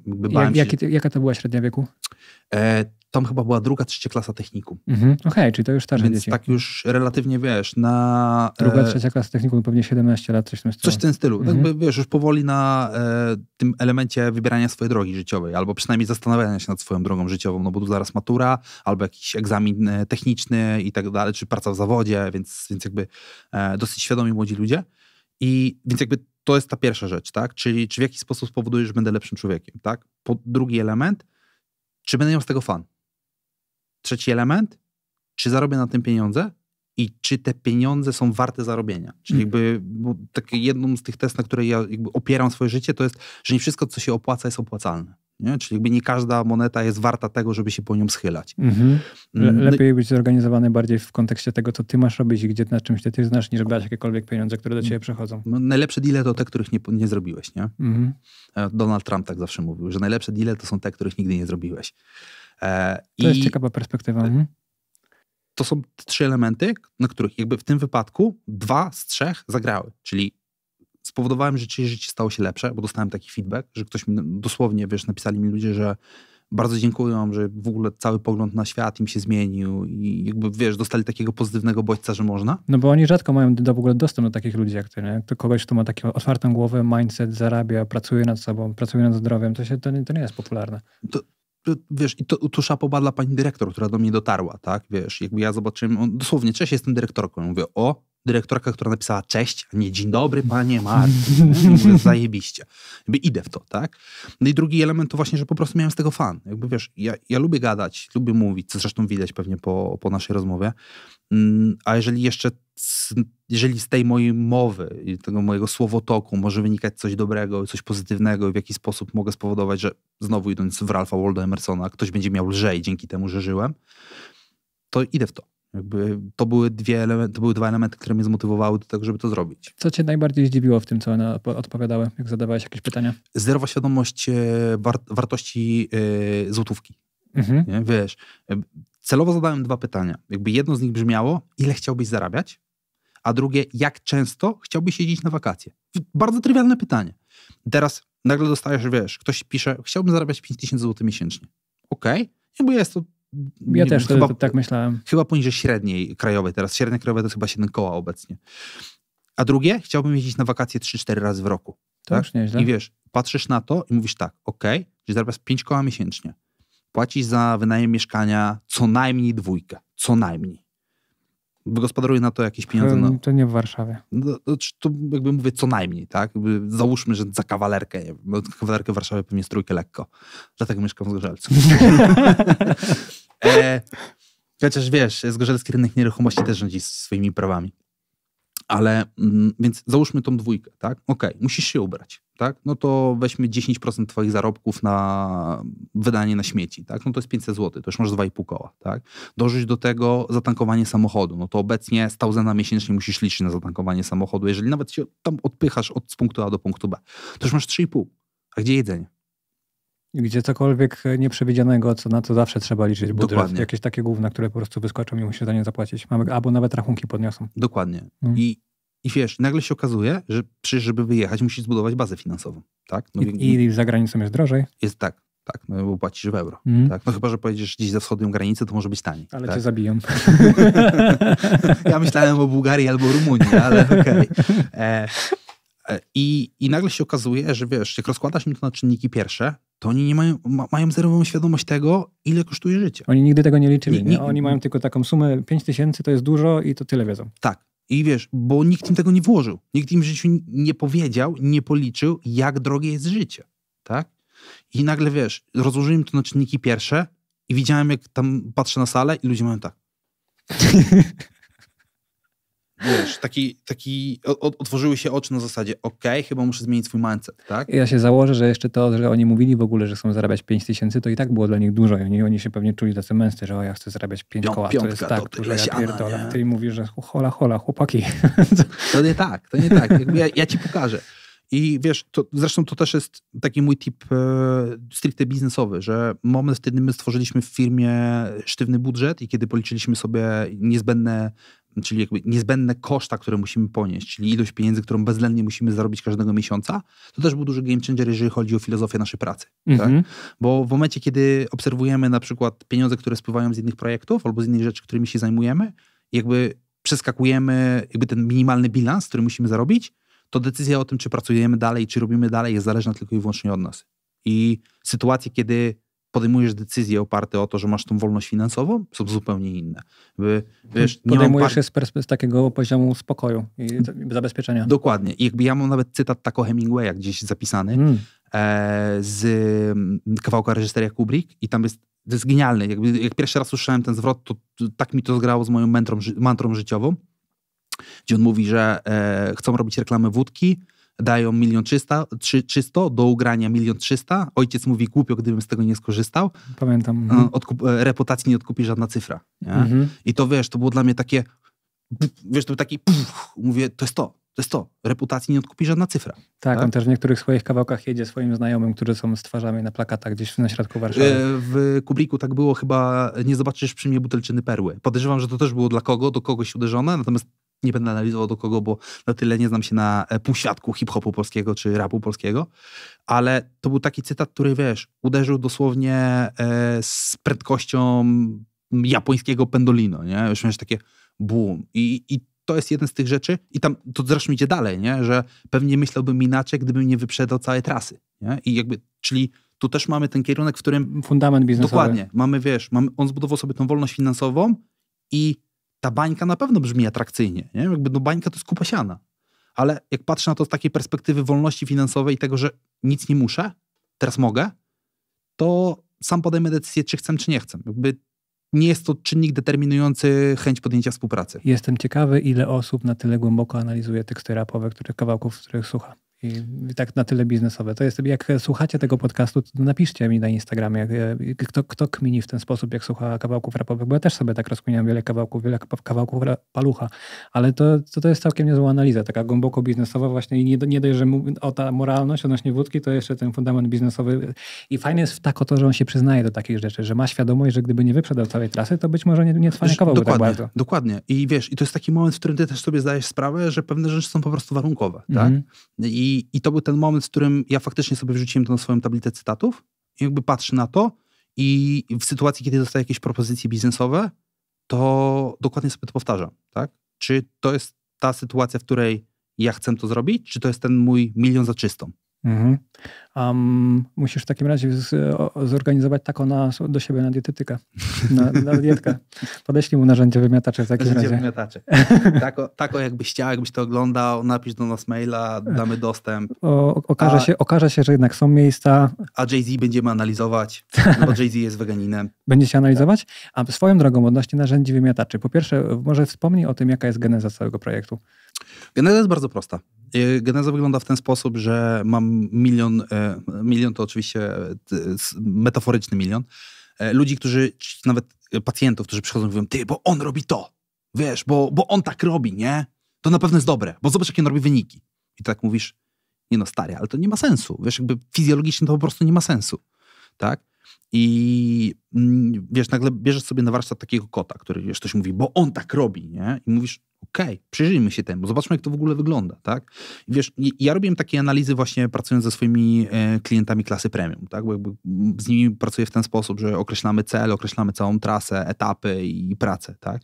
Wiesz, na przykład jeden z klientów stwierdził, że e, będzie pracował w sferach tlenowych, tak? I wysłał mi model, który on chciałby przyjąć. Ja patrzę na ten model i mówię, stary, ale ten model naprawdę nie ma sensu. W sensie, wiesz, jak popatrzysz sobie na to, co ktoś robi, ile ktoś robi i nagle, wiesz, jego wydatek kaloryczny na przykład, uśredniając, wynosi 7000 kalorii, tak? Mhm. A z tego, co mówi, albo z tych artykułów, z tych wypowiedzi, które, których udziela, jakby też musimy wziąć pod uwagę, że bazujemy na rzeczach, które są dostępne. W sensie, jakby ja analizując tych wymiataczy, nie wchodzę do nich do domu, nie żyję z nimi miesiąc nie wyciągam z tego wniosku, tylko korzystam z rzeczy, które są ogólnie dostępne. Tak? Które gdzieś powiedzieli w podcaście, w książce. W tak podcaście, tak w książce, w autobiografii, w biografii i tak dalej, i tak dalej, tak? Nagle widzisz, że ktoś je 3000 kalorii, to tak siedzisz już, hmm, ale o co chodzi? Jakby dlaczego? Jakby jaki jest tego powód, tak? I nagle zaczynasz kopać głębiej i widzisz suplementację. Mówisz, to nie ma sensu. Mhm. Te suplementy są po prostu głupie, są mu zbędne, on tego nie potrzebuje, tak? Wiesz, na przykład LeBron James, LeBron James stosujący cytrulinę przed y, graniem w kosza. Tak? Mhm. Cytrulina jest czymś, co rozszerza naczynia krwionośne, powodując, że na przykład dużo łatwiej uzyskujemy efekt pompy mięśniowej. To jest przez się bierze. Dokładnie. Więc tak? do koszykówki to by nie było dobre. No stary, wyobraź sobie, że dajesz komuś z brazylijskiego jiu cytrulinę przed treningiem, tak? I on łapie cię za szmatę i nagle się okazuje, że ma bicepsy tak spompowane po dwóch sparingach, że on nie wie, co się dzieje, mm -hmm. No przecież to nie jest efekt, który chcesz uzyskać, tak?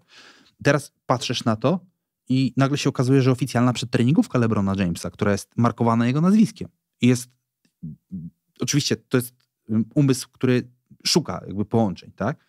LeBron James sygnuje przedtreningówkę. To prawdopodobnie jest to przedtreningówka, która będzie uderzała do grup osób trenujących sporty drużynowe albo w ogóle specyficznie koszkówkę. Tak? Mhm. I widzisz tam w składowych cytrulinę. Po co? Po co przed takim wysiłkiem fizycznym ta cytrulina? Jakby to jest geneza analizowania poszczególnych rzeczy, tak? I jakby my to podzieliliśmy na, na dwie wersje. Wersja, wersja basicowa, którą można znaleźć na YouTube, to jest taka analiza, wiesz, robi to i to, robi tak, jakby czasami pokusimy się o jakiś komentarz, natomiast w tej wersji Pro poszliśmy głębiej i zrobiliśmy analizę względem badań naukowych, praktyki, zastosowania, czy mojego doświadczenia pracy z danymi zawodnikami z danej dziedziny, a już po 12 latach w branży i pracy niemal ze sportowcami z każdej dziedziny sportu, siatkarzami, piłkarzami, koszykarzami itd., tak itd., tak to mam wiele przemyśleń, mam wiele schematów, mam wiele doświadczeń, co się sprawdzało, co się nie sprawdzało, jakie były wnioski z ich strony i to przekładam po prostu na papier. Tak? Rozgryzłeś, dlaczego bierze cytrulinę? Nie. Jakby uważam, że to, że to znowu wracamy do tego pomimo. Ja uważam, że LeBron jest LeBronem pomimo tych rzeczy, które robi. To tak? trochę jak Floyd, który pije sobie Coca-Colę. Dokładnie, że on, Floyd jest Floydem pomimo tych rzeczy. Tak? On może I, po prostu. Dokładnie. Może I, mu smakuje cytrulina. I, I, możemy pójść dalej, nie? że tu pan Marek Fischer w Polsce siedzi, pan dietetyk, tak, ani Floyd Mayweather na pewno ma lepszych kotów, którzy... Być może. Być, być może tak jest, absolutnie. Mhm. Tak? Nie wiemy tego. Jakby zakładamy, że to, co mówi w wywiadach, bądź to, co się e, pokazuje w prasie, jest realnie odzwierciedleniem tego, co robi. Mhm. Tak? Ja to analizuję. To jest moja rola. Czemu poszliście w tak dużo osób? Um, bo to, to, jak słuchałem jednego z twoich podcastów, to mówiłeś, że niedobrze jest mieć biznesowo bardzo dużo pozycji, bo później klient przychodzi i nie może się zdecydować. I ja miałem dokładnie tak, wszedłem na wasze narzędzia wymiatacze, patrzę i mówię, to jest typów, nie wiem, kogo mam wybrać. Nie wiedziałem, dosłownie nie wiedziałem, w kogo kliknąć. I to jest prosty patent. Mhm. E, narzędzia wymiatacze są podzielone na fazy. I w momencie, kiedy kończymy każdą fazę, to otwieramy dostęp do całego kursu za pineski. Czyli nie musisz kupować każdego wymiatacza za darmo. Po prostu płacisz nam 347 zł za dostęp roczny i masz dostęp do wszystkich. Ale Ty- wciąż musisz podjąć decyzję, którego, od którego zacząć. To, to ja, ja miałem paraliż. Okej, e, i to idziemy dalej. Czyli dla każdego, kto by się interesował tym tematem, zastanów się, co cię najbardziej interesuje, albo który sport jest ci najbliższy. Które efekty cię interesują? Czyli jeżeli na przykład ciebie interesują sporty walki, to prawdopodobnie model Conora McGregora będzie cię najbardziej interesował. Tak? Mhm. Jeżeli ktoś gra w kosza, to od tego ma Lebrona. Jeżeli ktoś gra w piłkę, to ma Ronaldo i ma Zlatana, którzy są omówieni. Tak? Z, z latam to był mój wybór. Zlatan jest przekotem. To jest, I to jest jeden z najciekawszych e, piłkarzy, jakich zna historia. Jakby, e, myślę, że obok jeszcze bym postawił Roya Kina z Manchester United. Tego nie znam. E, No jest hardcore straszny. E, ale Zlatan to po prostu jest taka persona. Nie? Jakby, I te kopnięcie z taekwondo, z których strzela bramkę, ja pierdolę po prostu. Albo to, to, to kopnięcie z przewrotki, jak strzela taką... ale, sam, ale sam mental, nie? Jakby to. E, która bramka ci się najbardziej podobała w zeszłym tygodniu? Cristiano strzelił ładną bramkę, Messi strzelił ładną bramkę, ktoś tam strzelił ładną bramkę, ale czemu nie wymieniasz swoich?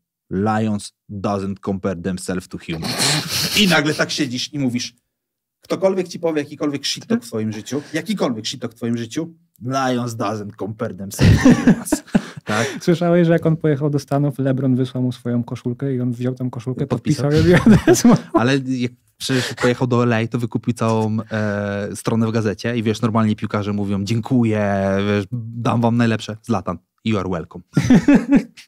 wiesz, Zlatan jest tak ciekawą personą, jakby mentalnie, tak? Czy jakby jak pojechał do PSG i e, któryś z dziennikarzy mu zarzucił, że mm, chodzi z nosem do góry, nie? że jakby wie, że jest bardzo zarozumiały. A Zlatan Arogancki, powiedział, ale wy Francuzi generalnie słyniecie z arogancji, dlatego powinniście mnie kochać. Tak, on jeszcze mówił, że, to, to, że przyjdzie, przyjdzie grać do Francji, jak zamienią... E, zamienią pierwszy iPhone na jego posąg. To jest niesamowite. Kiedyś była taka kreskówka, nie mogę jej zlokalizować na YouTubie, ale kiedyś była taka e, kreskówka ze Zlatanem, gdzie Zlatan podkładał swój głos, e, głos i był animowany Zlatan i robił niesamowite rzeczy, nie? I na przykład tam było coś z kominkiem i wiesz, this is fire, fireplace of Zlatan. Zlatan always know how to put the fire in the fireplace because Zlatan is Zlatan. jest niesamowite, wiesz, i obserwujesz typa, sensie... Ja się zastanawiam, czy on robi back. On sobie robi, on mu- musi czasami robić backa. Nie wierzę, że on cały czas jest taki, ja bym to nazwał przyjebany trochę. Myślisz? Myślę, myślę, że na pewno w pewien sposób gra, Mhm. e, personę, którą sobie gdzieś tam wytworzył, że to jest jakiś rodzaj charakteru, ale też myślę, że Zlatan jest taki mentalnie, nie? Wiesz, nie wiem, czy widziałeś taki, taką genialną rolkę, ja ją uwielbiam, jest genialna, jest takim podsumowaniem całego mentalu świata. Jak e, kupował chatę w LA i e, oglądał ze swoją żoną agentem nieruchomości i jakby agent nieruchomości mówi, że ta chata jest taka i taka, no ale nie ma mebli. A Zlatan mówi, no to mówi do żony, to teraz weźmiesz tą panią, pojedziecie do Ikei i kupicie meble. I agentka nieruchomości mówi, ale bogaci ludzie nie robią zakupów w Ikei, a Zlatan do niej mówi, ale mądrzy robią. Nie? I jakby to było dla mnie takie, wiesz, mówię, tak, to jest ten mindset, nie? Bo bogaci może nie robią, ale mądrzy już tak. Mądrze nie wydają na pierdoły. Dokładnie. Um, jak robiłeś ten research, czy znalazłeś coś, co ciebie najbardziej zdziwiło w tych, w tych rzeczach? Oprócz Cytruliny i Lebrona? E, dużo rzeczy, na przykład model Gogginsa jest dla mnie zaskakujący. W sensie jakby nie, nie o tyle sam model e, rozkładu makroskładników i model pracy, czyli jakby ten model taki ukierunkowany na high protein, e, medium fats, taki trochę keto, trochę nie keto, ale sama podaż kaloryczna. Nie? Wiesz, gostek, który rano biega 8-12 mil, potem robi trening siłowy, a potem robi jeszcze 12-20 mil rowerem do pracy je 3200 kalorii, tak mniej więcej. Tak? I wiesz, patrzysz na niego, to jest kawał chłopa, który ma chyba 1,90 m wzrostu, 92-93 kg wagi, Nabity na maksa. nabity, suchy, tam z 8-10% body fatu i wiesz, na to patrzysz, tak? I dzisiaj robiłem taką sobie analizę z właśnie Rafałem Mazurem, bo miałem przyjemność spania w sześciogwiazdkowym hotelu u państwa Mazur No, Proszę bardzo. e, i robiliśmy sobie właśnie analizę i między innymi właśnie w kontekście otyłości, o której pewnie będziemy rozmawiać później. Tak, Mm, kiedyś tam dobrniemy. kie- Kiedyś tam, do- kiedyś tam dobrniemy. Była taka właśnie e, dedukcja, gdzie okej, prawdopodobnie i to miałoby sporo sensu. Goggins, który wcześniej był taki naprawdę mocno ulany, utyty, czyli w tym najgorszej fazie swojego życia, życia musi utrzymywać relatywnie mniejszą podaż kaloryczną, bo wszystko, co idzie powyżej, będzie powodowało, że będzie nadmiernie łapał tkankę tłuszczową. Czyli jakby to jest na przykład ten niefortunny pakiet genetyczny, nie? czyli ten, który cię predysponuje do tego, że w tak zwanym środowisku predysponującym do otyłości będziesz nadmiernie tył. Tak? I myślisz, że on to ma? Myślę, że tak może być. Myślę, I to też między innymi dlatego, że po prostu A, był... bo przecież on był tyły na był, maksa. To na maksa. Było, wiesz, tam no. było ze 170 kg wagi. Nie? No, 300, 300 pounds, nie wiem, to jest kilogramów. 300, 300 funtów to jakieś 140-150 kg nam wyjdzie. Fuck. Było gigantyczne, ale rzeczywiście, to w takim razie musi być mega restrykcyjnie podchodzić do tego, żeby się znowu tak nie zapuścić. Nie? Dokładnie, więc teraz pytanie, czy na przykład testował model, w którym zwiększał podaż kaloryczną i ten model powodował, że nadmiernie łapał tkankę tłuszczową, albo zaczynał tyć, albo pojawiała się jakaś kompensacja metaboliczna. Jakby, wiesz, tego nie wiemy, tak? I jakby jednym z celów narzędzi wymiataczy jest między innymi to, że postaram się do tych, e, z tymi wymiataczami, do których będę mógł dotrzeć, po prostu porozmawiać o tych rzeczach. Czyli jakby chcesz, wziąć... chcesz się z nimi skontaktować? Z, y, już na pewno y, będzie mi dogrywać y, Rosa Gleya, czyli tego, który, tego pana, który był odpowiedzialny za Limitless. Mhm. Czyli jakby on trenował Chrisa Hemswortha w Limitless. Jakby taki mamy plan, że bardzo chcielibyśmy go ściągnąć, bo jego model jest niesamowity, jest niesamowitą personą. On przepłynął UK dookoła wpław, więc jakby coś to znaczy. Więc to jest nasz, nasz główny plan. Narzędzie wymiatacze w końcu. Tak. Wydaje się, że będziemy mieli na niego dobre dojście więc myślę, że się uda, uda go złapać. Znaczy, niestety problem z tym uda się złapać, to jest zawsze zależne od tego, na ile oni wygospodarują czas i chęci dotarcia do polskiej publiki. Mm -hmm. Więc jakby to, to jest z tym skorelowane. E, między innymi będę chciał pogadać z Filem Daru. Miałem przyjemność e, prowadzenia wykładów z Filem Daru, więc jakby tutaj akurat kontakt jest relatywnie prosty. Między innymi o przygotowaniach Dustina Poriera do tej walki z McGregorem, gdzie McGregor złamał nogę, mhm. bo to też niesamowicie ciekawy temat. Jakby sama zmiana McGregora po była mega ciekawa. Więc Chciałbym i taki mam plan, natomiast jakby my sobie to też rozkładamy w czasie, żeby odpowiednio zbudować e, kontakty i dotrzeć do tych ludzi, do których nam się uda dotrzeć. Jakby do Zlatana i CR7 raczej nie dotrzemy. Tak? I do D-Rocka. No. I do D-Rocka raczej też nie dotrzemy w kontekście. Nawet jak dotrzemy, to pytanie, czy chcieliby zdradzić nam swoje sekrety żywieniowe?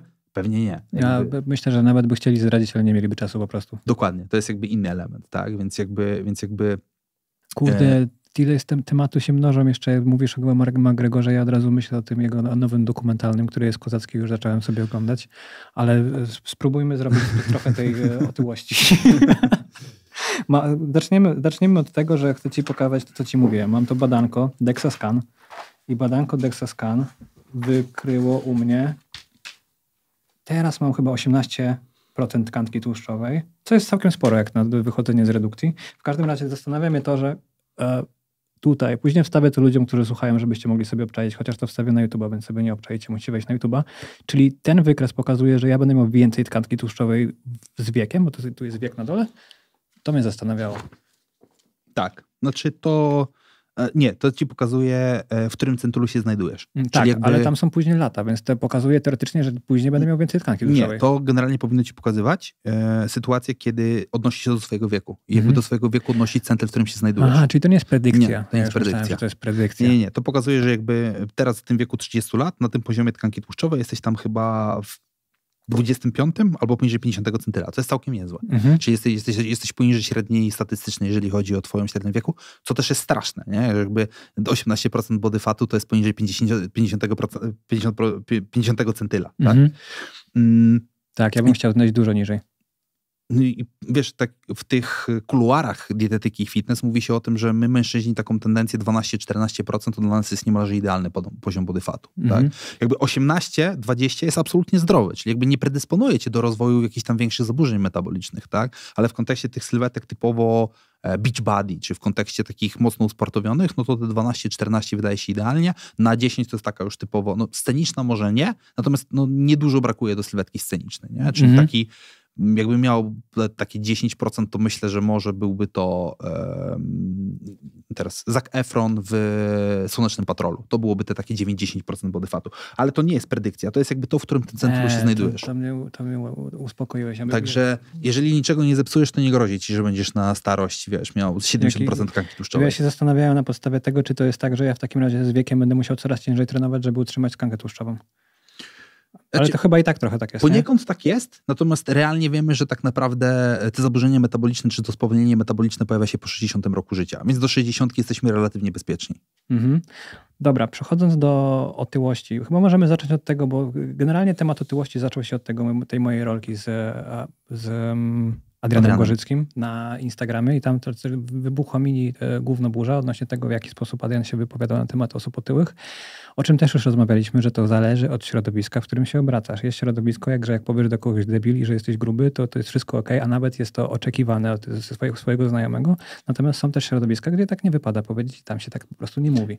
Okej, to jest dosyć ciekawe z wielu, perspe- z wielu perspektyw e, socjolo- socjologicznych i takich trochę psychologicznych, bo mm, ja zaznaczam, i to jakby dla każdego słuchacza, widza mówię, że ja nie jestem psychodietetykiem, a większość psychodietetyków zajmuje się właśnie tym podejściem empatycznym, takim podejściem na zasadzie rozwiązywania tych problemów, wsparcia i tak dalej. I to jest super, to jest jak najbardziej okej, bo tacy ludzie też, też są potrzebni. Wręcz uważam, że tych ludzi jest potrzeba dużo więcej niż takich ludzi jak ja, czyli takich mało empatycznych, nastawionych na osiąganie celów, rezultatów i tego, żeby dowozić jak najlepsze wyniki. Tak? Mhm. Oczywiście to nie jest tak, że ja nie wykazuję się empatią do swoich ludzi i moi ludzie do mnie mówią, że uzyskują tej empatii dużo, ode mnie dużo więcej niż na przykład od innych prowadzących. To jest zabawne swoją drogą, ale... Ty, ty mm, nie wyglądasz na nieempatyczną osobę. Możesz mówić bezpośrednio, ale wciąż jesteś taką osobą, że nie, nie odbierałbym tego jak coś niemiłego, bo myślę, że to jest główny problem z takich komunikatów, że to jest takie oceniająco niemiłe. Natomiast po, po tobie bym się tego nie spodziewał w ogóle. tak i nie.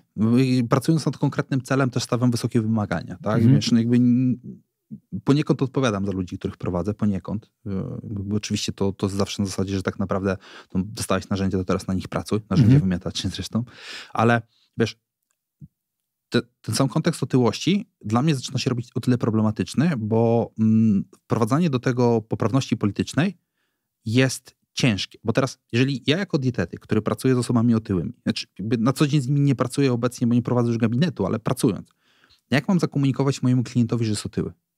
Oczywiście, nie powiem mu, jest pan gruby, bo Mhm. przede wszystkim zostałem dobrze wychowany przez moich rodziców, więc nie powiem obcej osobie, że jest gruba, tak, jako zero-jedynkowo. Zawsze można pokazać taki wykres, jak jest tutaj. Jest waga. e, o, świat- oczywiście, ale teraz wiesz, idąc w poprawność polityczną, jeżeli ja mu powiem, że jest otyły, to też może być problematyczne. Nawet jest, otyły? Pan jest otyły. Mhm. I to też w wielu e, środowiskach może być uznawane za szeroko pojęty problem. Tak? Natomiast otyłość jest e, sklasyfikowana jako choroba. Tak? I to ma dokładnie standaryzację pod kodem E66 w ICD. ICD to jest taka międzynarodowa, Jesteśmy przygotowani. tak, międzynarodowa klasyfikacja chorób i problemów zdrowotnych, więc jest sklasyfikowana jako choroba, dosłownie. Tak? I zwiększa ryzyko śmierci z tego, co tam czytałem u Dokładnie ciebie. tak. I zwiększa ryzyko śmierci, zwiększa ryzyko zaburzeń metabolicznych, chorób sercowo-naczyniowych, zaburzeń e, kostnostawowych. Jakby, wiesz, trudno jest wymienić jeden element, na Którego który otyłość nie wpływałaby negatywnie w long runie, czyli jakby długoterminowo. Tak? I teraz to, co musimy zaznaczyć. Otyłość jest zła jako zaburzenie zdrowotne. Osoby, które mają otyłość, absolutnie nie są złymi osobami. Absolutnie.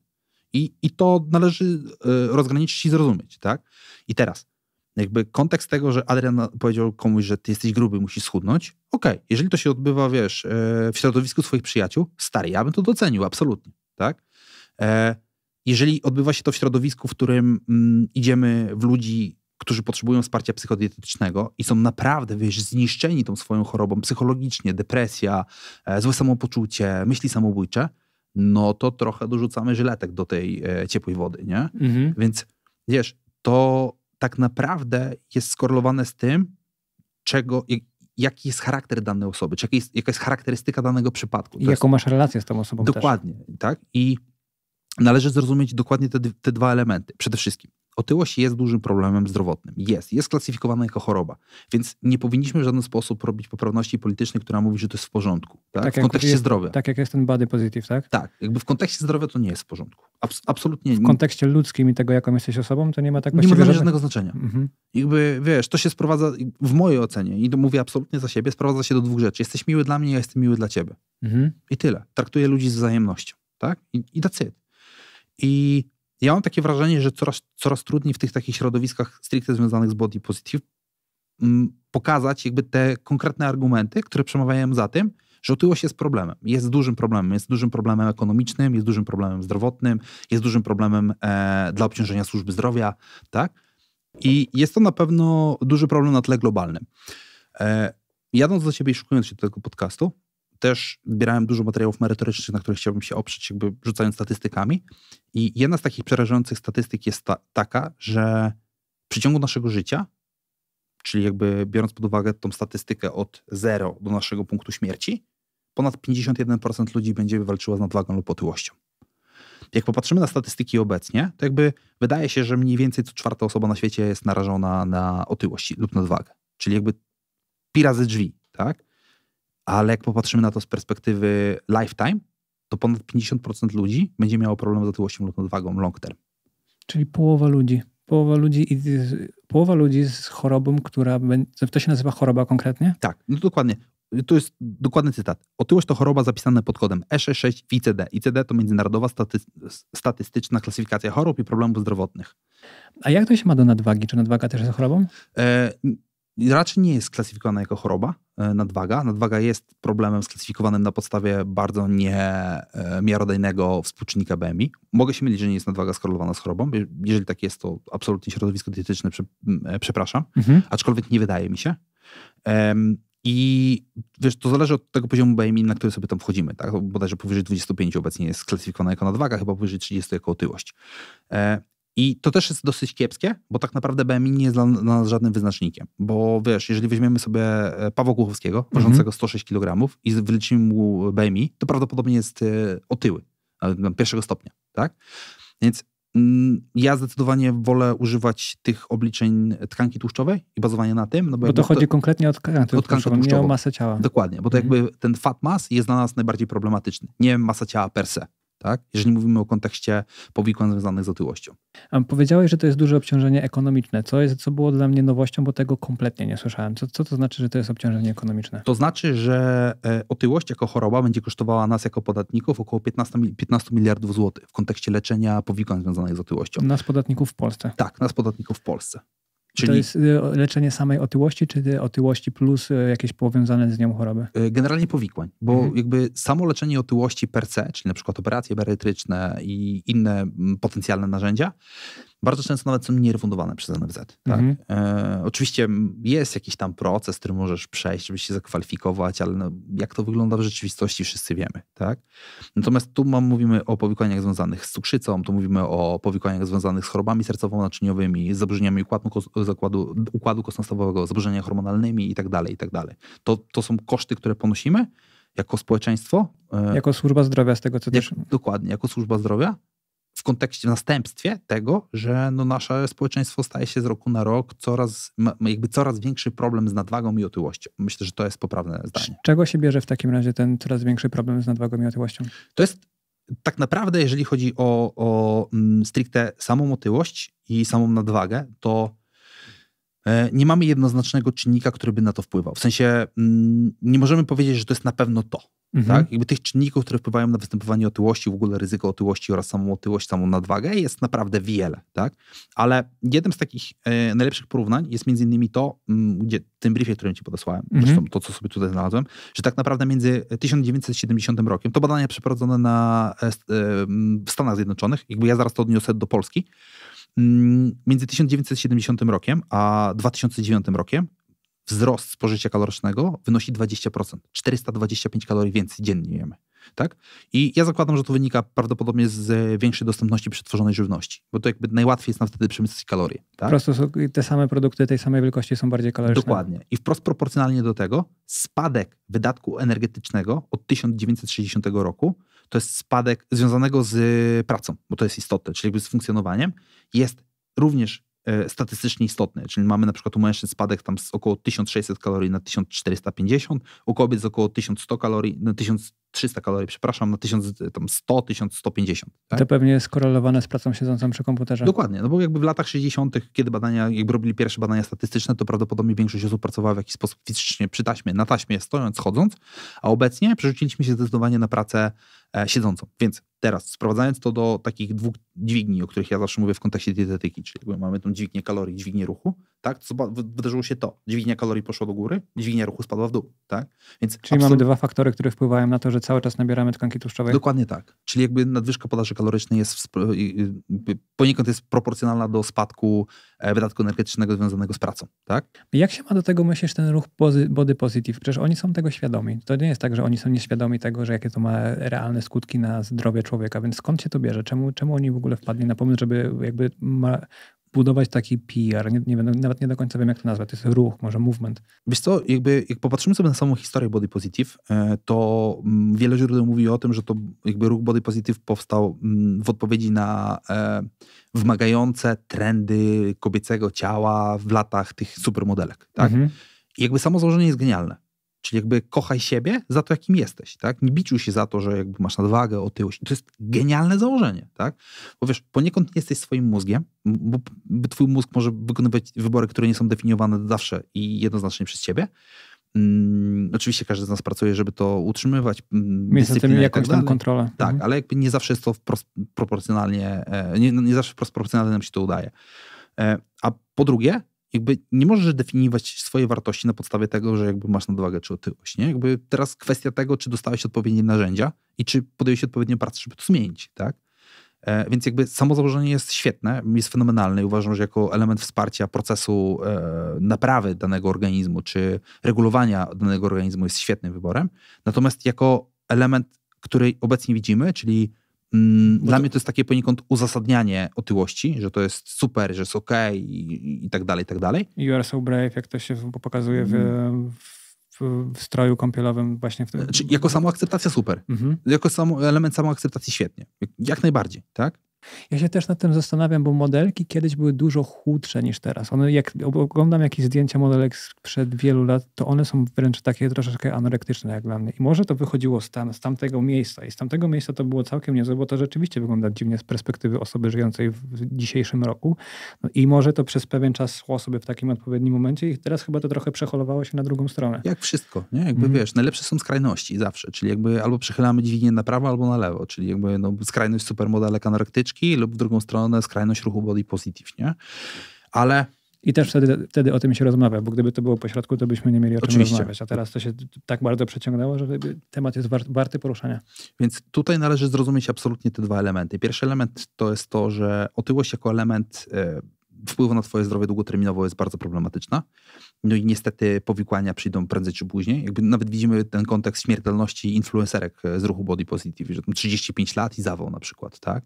Jest już, są już jakieś są, są, są, już jakieś tam spływające, że, że insta influencerka z ruchu Body Positive 36 lat, zawał albo jakieś powikłania cukrzycowe. A to jest cherry picking, czy myślisz, że to już są jakieś racjonalne Trudno dane? mi powiedzieć. Jakby nie zagłębiam się nigdy w tą tematykę i nie jest, obserwuję nie. to, więc jakby to zostaje w mojej pamięci, tak? Mhm. Natomiast dla mnie to jest taki, takie trochę... Mm, Już problemat... o świadczy. Tak, o czym świadczy to, to raz. Jest, to jest jakaś lampka zapalająca się. A, a dwa, że wiesz, no my wiemy, po prostu no statystycznie, naukowo, review, badania wsteczne jasno mówią, otyłość jest jednym z czynników, które istotnie wpływa na zwiększenie ryzyko śmierci z powodów tam, wymień sobie XYZ, tak? A dwa, im większa jakby otyłość w kontekście twojego wieku, czyli im jesteś starszy, to tym większe ryzyko wszelkich powikłań. Tak, wiesz, no jakby cukrzyca, no cukrzyca typu drugiego jest typową chorobą, która powstaje w wyniku naszych wyborów życiowo-żywieniowych, lifestyle'owych. Tak? To jest hardkorowa perspektywa, że y, żyjąc w określony sposób, teoretycznie skracasz sobie życie. Ja o tym nigdy nie, nie, jakby nie gadam o tym tak często, więc nie zastanawiałem się nad tym, że to, że jesz daną ilość jedzenia i ruszasz się w określoną ilość, może wpłynąć na to, że będziesz żył na przykład 10 lat krócej. E, bo, bo, nigdy nie patrzymy na to z perspektywy trwałości naszego życia. Wiesz, i to jest, to jest jakby jeden z tematów, który ja uwielbiam poruszać, bo teraz jeżeli popatrzysz sobie na twoje życie, tak, to dlaczego narzucasz e, określone, czy reguły gry, które mają określony czas trwania do gry, która jest nieskończona? Bo jakby twoja gra, czyli jakby nasze życie, kończy się w momencie, kiedy umierasz. Mhm. Tak? I teraz My z perspektywy żywienia narzucamy bardzo sztywne reguły, zamknięte w krótkim okresie czasu na jakby naszą nieskończoność, nie? Czyli jakby Czyli ty na przez następne 6 miesięcy jesz zdrowo i się ruszasz. I schudniesz 10 kilo? Schudniesz 10 kilo, tak? I A... patrzysz na to w perspektywie 6 miesięcy.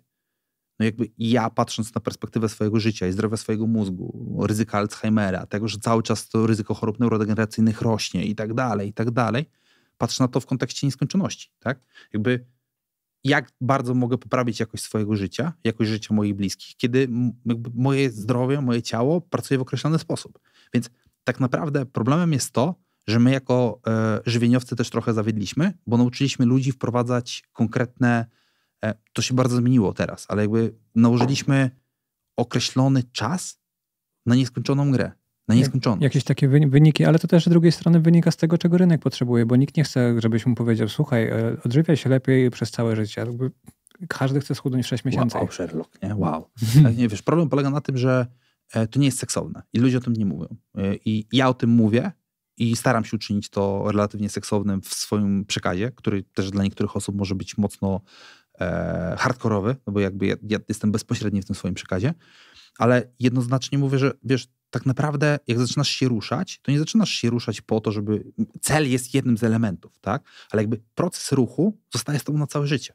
To jest, to jest lifestyle, a nie jakaś e, technika na, na jakiś czas, który trzeba zastosować, żeby uzyskać dany efekt. Absolutnie. I wiesz, i y, kolejnym dużym problemem w mojej ocenie jest to, że staramy się mówić o tym, że któraś forma ruchu jest lepsza, tak? Nie, no jeżeli patrzymy na to zero-jedynkowo, to nieważne jaka forma ruchu, każda jest dla ciebie lepsza niż brak ruchu.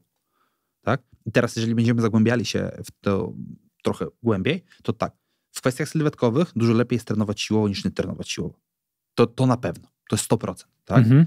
W kwestiach długowieczności, no praca cardio jest dużo lepsza niż brak pracy cardio. Jest dużo lepsza niż praca siłowa. Tak? Mhm. Ale jeżeli patrzymy na to z perspektywy ogólnej sprawności twojego ciała, to praca cardio plus praca siłowa to już w ogóle jest bajka tak? I teraz, wiesz, możemy dokładać sobie poziomy do tej gry. Tak? Czyli to ma, to ma znaczenie, natomiast w takim podstawowym, e, podstawowym świadku dla takich e, nowicjuszy po prostu aktywność, jakakolwiek. Róż dupa. Po prostu. Po, Wiesz, po, że ja tego nie przeczytałem ani razu? Róż, róż dupę. E, tak, prostu. Marek ma na koszulce napisane róż dupę. Tak, to jest, to jest, to jest najbardziej uniwersalna rada, jaką możesz komukolwiek dać w kontekście aktywności fizycznej. Ja bym chciał w tym momencie zarekomendować podwyższane biurko Deskwise i e, bieżnie pod to biurko, ale wiesz jakie to jest zajebiste? Wiem. Jakbym nigdy na to nie wpadł, że po prostu jeździsz sobie na tym rowerku i już osoby mi zaczynają pisać, że sobie kupiły te rowerki, to rzeczywiście tak robią i to jest po prostu genialne, bo osoby, które pracują na przykład programiści mogą sobie pedałować i jednocześnie pracować i to się normalnie da bez problemu pracować. Tomek Czechowski, czekam na sytuację i na moment, kiedy zaczniesz intensywnie używać swojego rowerka w Młodej Polsce Bistro. Pozdrawiam. Ktoś sobie kupił rowerek i nie używa? Tak, tak. Znaczy e, wspaniali ludzie, e, jedni z najlepszych szefów kuchni, w sensie pani, pani Beata, Beata Śniechowska, jedna z najlepszych szefowych kuchni i Tomek Czechowski, jej partner. Właśnie Tomek kupił sobie rowerek spinningowy do chyba nawet naszego Zipro, mhm. e, do, tak, do tak, biura tak. i ostatnio mieliśmy taką rozmowę. Ty, a ile użyłeś go? Całe 8 razy. Ja mówię, okej, okay, działamy. To nie? jest po prostu Także... naprawdę, to jest taki game changer i to tylko polega na tym, że masz postawiony rowerek, wysuwasz go sobie dalej, żebyś miał miejsce na pedałowanie i sobie po prostu jeździsz. To jest naprawdę, ja bym się nigdy nie spodziewał, że to będzie taka zmiana i taka pozytywna jest, zmiana. Super, bo wiesz, cały patent polega na tym, żeby sobie uprościć tą grę najbardziej jak możemy. Zlikwidować ten próg wejścia. I to jest likwidacja progu wejścia, bo ja mam siłownię pod domem, ja nie mam daleko na siłownię. No, oczywiście. I to, wiesz, I to jest też najtrudniejsze, nie? Im bliżej masz, tym e, droga staje się trudniejsza, mhm. tak? Ale tak naprawdę to, do, do, do kwestii ruchu trzeba podejść tak trochę zero-jedynkowo. Czyli forma ruszania się jest zawsze lepsza niż forma nieruszania się. Uwielbiasz spacery? Świetnie. To po prostu spaceruj.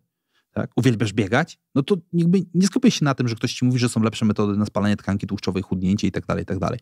Jakby nie, nie rezygnuj z formy ruchu, którą lubisz, na rzecz formy ruchu, której nie lubisz, bo utrzymasz ją mega krótkoterminowo. A to nie o to chodzi. Samo kupienie psa chyba też jest dobrym pomysłem, bo I... ten pies cię zmusza do wyjścia na spacer. Dokładnie. Jakby ja bym poszedł zaadaptowanie psa.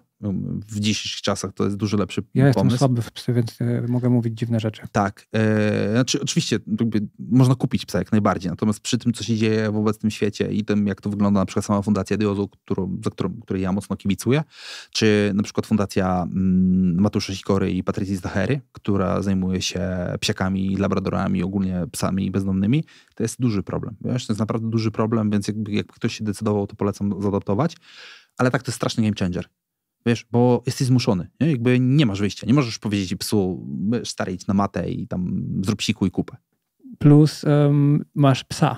To też jest ogromny benefit sam w sobie, oprócz Tak. tego, że wychodzisz, więc masz jednocześnie ruch, którego, do którego prawdopodobnie w innym wypadku byś się nie zmusił, plus masz psa, z którym jest super zabawa. E, I, jak w którym, i, I z tym psem możesz się bawić, możesz go nauczyć jakiejś zabawy i dodatkowo to będzie jeszcze taki bardziej intensywny ruch. Dokładnie. Jakby ja też y, w którymś z y, badań do kawy wysyłałem właśnie tako, takie badanie, które pokazywało, że osoby, które mają psy A żyją dłużej, B żyją lepiej i weselej, C wykonują dużo większą aktywność fizyczną e, w skali nawet podstawowych kroków niż osoby, które psa nie mają. No i co jest absolutnie logiczne, no bo m, wiesz, trzy razy dziennie spacer z psem, nawet dookoła bloku, to już nabije z 6000 kroków. To jest genialne rozwiązanie, co? I do tego na, na maksa łatwo ludzi namówić. Nikogo Absolutnie. nie trzeba namówić, że- żeby kupił psa, Absolutnie. y, zaadoptował. Z- Zaadoptował. A, a, absolutnie. I to jest jedno z najbardziej uniwersalnych rozwiązań, jakie możesz zrobić, jeżeli chcesz prowadzić sobie rutynę ruchu. I jeszcze się naświetlasz z rana. bo nie masz wyjścia. Jakby, wiesz, mm, u mnie to wygląda w ten sposób, że ja po, po porannym spacerze z psem już wchodząc do firmy mam nabite 8 tysięcy kroków. I czujesz się lepiej. Więc, więc wiesz, jakby ja kończę trening, jadę, biorę psa i idę na spacer. Więc generalnie uprawiam pewnego rodzaju formę cardio. Co prawda ten spacer nie jest turbo intensywny, ale, Ale, zawsze jest to ruch lepszy niż gdybyś siedział przy kąpie w domu. dokładnie. I z drugiej strony, jeżeli mam konsultacje, które mam z klientami, z którymi pracuję już ultra długo, to również rzucam sobie słuchawki i z psem do parku. Jakby mam park, który jest 100 metrów od e, mojej firmy, więc wychodzę, rzucam słuchawki i sobie gadam. I zawsze, zawsze e, ostrzegam, jeżeli będę gwizdał albo będę się darł, to nie na ciebie.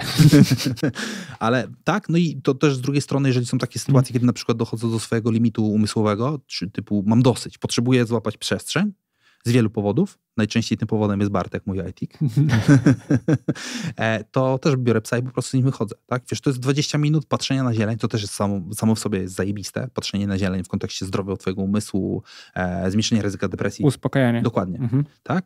I mm, od pewnego czasu zaczynam praktykować też rutynę niebrania telefonu na te takie popołudniowe spacery. Czyli jakby, żeby dać sobie 20 minut bez dopaminy, nie? Tak zero. Po prostu, wiesz, wyjść, popatrzeć się, posłuchać jak ptaszki ćwierkają. I to też jest inny poziom skupienia, bo jak wiesz, że nie masz czegoś w kieszeni, co ci zaraz może zadzwonić, albo że możesz sobie coś sprawdzić, to, się, to po prostu masz tylko świadomość, jakiś jesteś taki spokojniejszy. Nie, nie, nie masz cały czas tego odruchu, a co ciekawe, co tam się wydarzyło na Instagramie. I to się przekłada też na twojego psa. I to mi też powiedział Marcin Zając, bo Marcin ma dwa bordery collie, więc to są mega wymagające psy. Mhm. Takie, które musisz mocno stymulować, żeby ci nie zjadły całej chaty.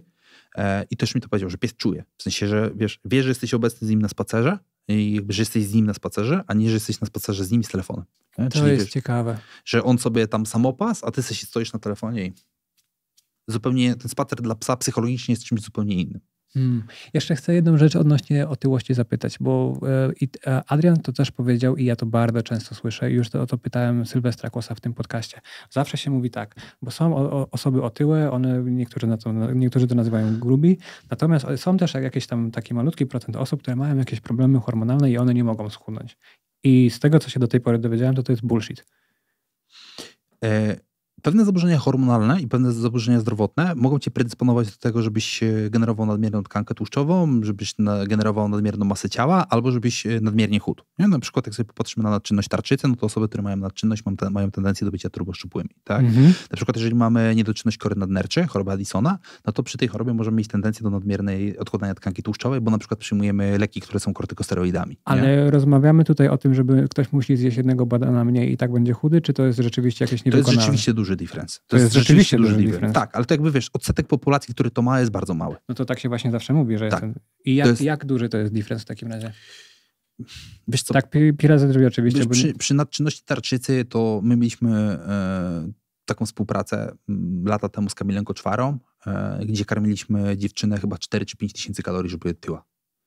4-5 tysięcy to to duży kulturysta tyle je. Dokładnie, dokładnie. Więc, więc tak, to jest aż ten, ta różnica nie? metaboliczna. Czyli to jest prawda. Poniekąd, bo teraz jeżeli popatrzymy sobie na przykład na niedoczynność tarczycy, czyli jeden z tych głównych elementów, który najczęściej jest podawany jako przyczyna problemów z nadmierną masą ciała, to jeżeli nie jest ustabilizowana farmakologicznie, to realnie może przekładać się poniekąd na twoje wyniki, tak? No ale jeżeli jest ustabilizowana farmakologicznie, to to tak nie wygląda, nie?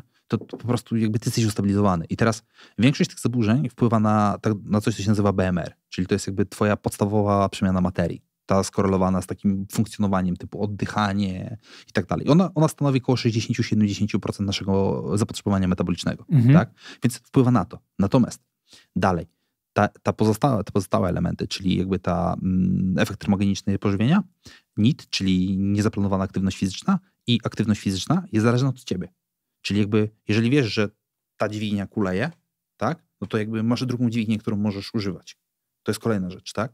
No i też często jest tak, że właśnie na przykład tak jak mówiliśmy o Logincie, że może być, że te osoby niestety muszą generować dużo większy, dużo większy deficyt kaloryczny niż osoby, które mają dokładnie te same parametry wysiłkowe, wagowe, sylwetkowe, jeden do jeden, tak? Czy wiadomo, jaki to jest procent plus minus ludzi? Nie jesteśmy w stanie tego turbo określić. A czyli co to w takim razie znaczy, że ktoś ma jakiś, e, że ktoś może sobie zbadać wyniki krwi i na wynikach krwi wychodzi mu, żeby te jakieś odczyny tarczycowe wychodzą? Na przykład ma niedobory FT3, FT4 albo ma mega wysokie TSH, które przekłada się na niski poziom FT4. Więc da się to jakoś racjonalnie wyrównać e, stylem życia? Da się, oczywiście. Jakby nie każda tarczyca musi być leczona farmakologicznie, tak? ale z drugiej strony ja też nie rozumiem tej takiej powszechnej obawy na stosowanie farmakologii. Wiesz, my wiemy, że stosowanie eutyroksu jest relatywnie bezpieczne. Ja się tak? dygam jak coś cały czas. Jak, jakiekolwiek leki, Leki. jakbym miał brać hormonalne, to ja bym się dygał. Tak samo sterydów bym się dygał, dygał brać. Y, wiesz, tak naprawdę, wiesz, jeżeli popatrzymy sobie na to, jaki jest procent skuteczności zastosowania i bezpieczeństwa, no to są leki, które są turbobezpieczne. Problem polega na tym, że też są leki, które są turbo niebezpieczne i są stosowane z nieumiarem i bez sensu, tak? I to też zmniejsza nasze zaufanie do całego zawodu, jakby bardzo mm, ważnego zawodu, jakim jest zawód medyka, tak? No, niestety to wynika też poniekąd z błędów medycznych i z całego kontekstu szeroko pojętej farmakologii i biznesu farmakologii. Ale czasami też trzeba po prostu stestować, tak zobaczyć, jak ktoś zareaguje. Wiesz, ale od tego mamy dobrych lekarzy. W sensie ich jest mniej niż tych, którzy są niedobrzy, tak? Ale e, jeżeli wiemy, że dane środki działają dobrze i pomagają wyrównać twój problem, tak? Wiesz, to jest e, dokładna analogia tego, o czym mówiła Marta Mazur w swoim podcaście. Mhm. Czyli tego, że wprowadzasz sobie pana na hormonoterapię zastępczą i on uzyskuje motor do tego, żeby ogarnąć wszystkie elementy i ogarnia te elementy i pojawia się pytanie, czy to HRT jest mu dalej potrzebne. Mhm. Tak? To dokładnie tak samo możemy mówić o niedoczynności tarczycy. Nie? Jeżeli ona jest spowodowana twoimi wyborami żywieniowymi, lifestylem, stresem, jakby włóżmy sobie do tego koszyka wszystko związane z naszym życiem i nagle trafiasz na ogarniętego endokrynologa, który mówi ci, ok, jakby zakładamy, że dopóki pani, pan nie ogarnie tych kwestii życiowych, tak, to musimy nie, wrzucić nie... eutyrox, mhm. bo musimy jakby odpalić ten, no, nazwijmy ten motorek, tak? I teraz im lepiej będzie nam szło, tym bardziej będziemy się zastanawiali, czy nie zejść z tego eutyroksu, tak? czy go nie odstawić. Będziemy obserwowali, jak się zachowuje tarczyca. Bo już po prostu nie będzie takiej potrzeby. No dokładnie. Bo jakby mhm. nagle się okaże, że ty ogarnąłeś wszystkie rzeczy. Wiesz, czasami niedoczynność tarczycy jest skorelowana z niedobrami pokarmowymi, na przykład niedoborem jodu w twojej dzieci. No mhm. My Polacy spożywamy turbo mało jodu. Tak? Wiesz, mamy sól jodowaną, ok. Natomiast z perspektywy e, owoców morza na przykład, no to ile znasz osób, które jedzą krewetki, nie wiem, trzy razy w tygodniu, żeby uzupełnić ten jód?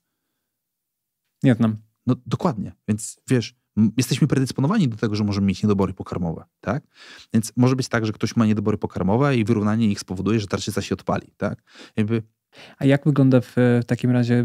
Są przypadki, kiedy ktoś ma rzeczywiście problemy z tarczycą i bardzo ciężko jest to rozwiązać? I wtedy ta osoba będzie miała ogromny problem ze schudnięciem, bo pomimo, że jakaś bierze farmakologię, to i tak się tego nie da wyrównać? Oczywiście, natomiast to są naprawdę odsetki.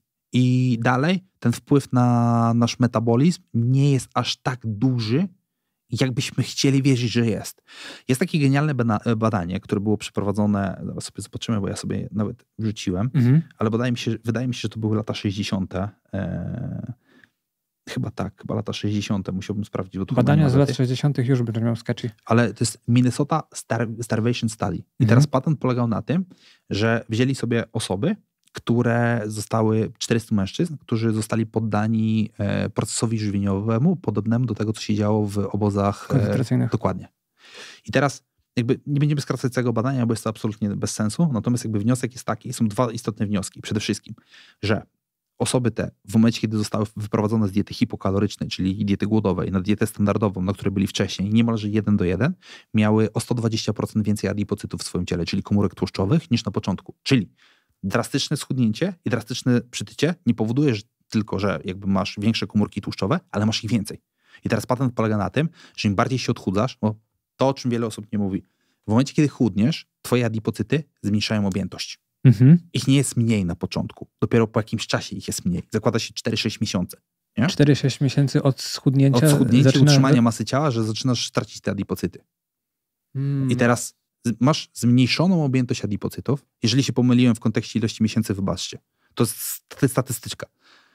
Zmniejszają się adipocyty. I teraz, jak zaczynasz drastycznie tyć, czyli bierzemy sobie typowy model e, pani Grażyny chudnącej na, sylwet, na sukienkę weselną swojej córki, mhm. tak? ona w miesiąc wchodzi na turbodeficytową dietę, trenuje 6 razy w tygodniu, więc wiesz, używa te dwie dźwignie, po prostu wiesz, wywala je w sufit, to w większości ta tkanka tłuszczowa, która ubywa, ona zmniejsza swoją objętość, adipocyt staje się dużo mniejszy. I teraz, jak po tym weselu Grażyna się zaczyna odpalać, to adipocyt zwiększa swoją objętość i generuje nowe. Dlatego to jest takie problematyczne, ten efekt jojo. Tak, znaczy to też jest tak mocno chłopski rozum, tak, ale każda redukcja po tym, jak odbije ci się waga, jest trudniejsza, bo masz więcej tkanki tłuszczu, masz więcej komórek tłuszczowych, które musisz się pozbyć. Mhm. Czyli, a jak, jak zrobić, żeby te adi, adipocyty w ogóle zniknęły? Czyli teraz masz, może załóżmy masz jeden, jeśli zaczniesz znowu jeść, to będziesz miał jego większego i dodatkowy drugi. Da się zrobić tak, żeby on zmalał i w końcu zniknął w ogóle? Musimy utrzymać naszą nową masę ciała długoterminowo. Długoterminowo. Czyli jak wiadomo, jak długo? Tak jak mówię, statystycznie 4-6 miesięcy. Tak? Mhm. Mogę się mylić, aczkolwiek tak mniej więcej się mówi, że tą nową, nową masę ciała musisz utrzymać około 6 miesięcy. Kurde, ja byłem przekonany, że to jest jednak bullshit z tymi hormonami, z tej tarczycą. I teraz, bo, bo o tym my pisaliśmy też, mhm. jakby to jest bullshit. Do pewnego stopnia jest bullshit, bo tłumaczenie, że ten twój metabolizm spada i to nas prowadzi do drugiego punktu. Te osoby po tak długim okresie e, bycia na diecie hipokalorycznej, bo to był okres Zaraz sobie sprawdzimy, ile dokładnie to trwało, mhm.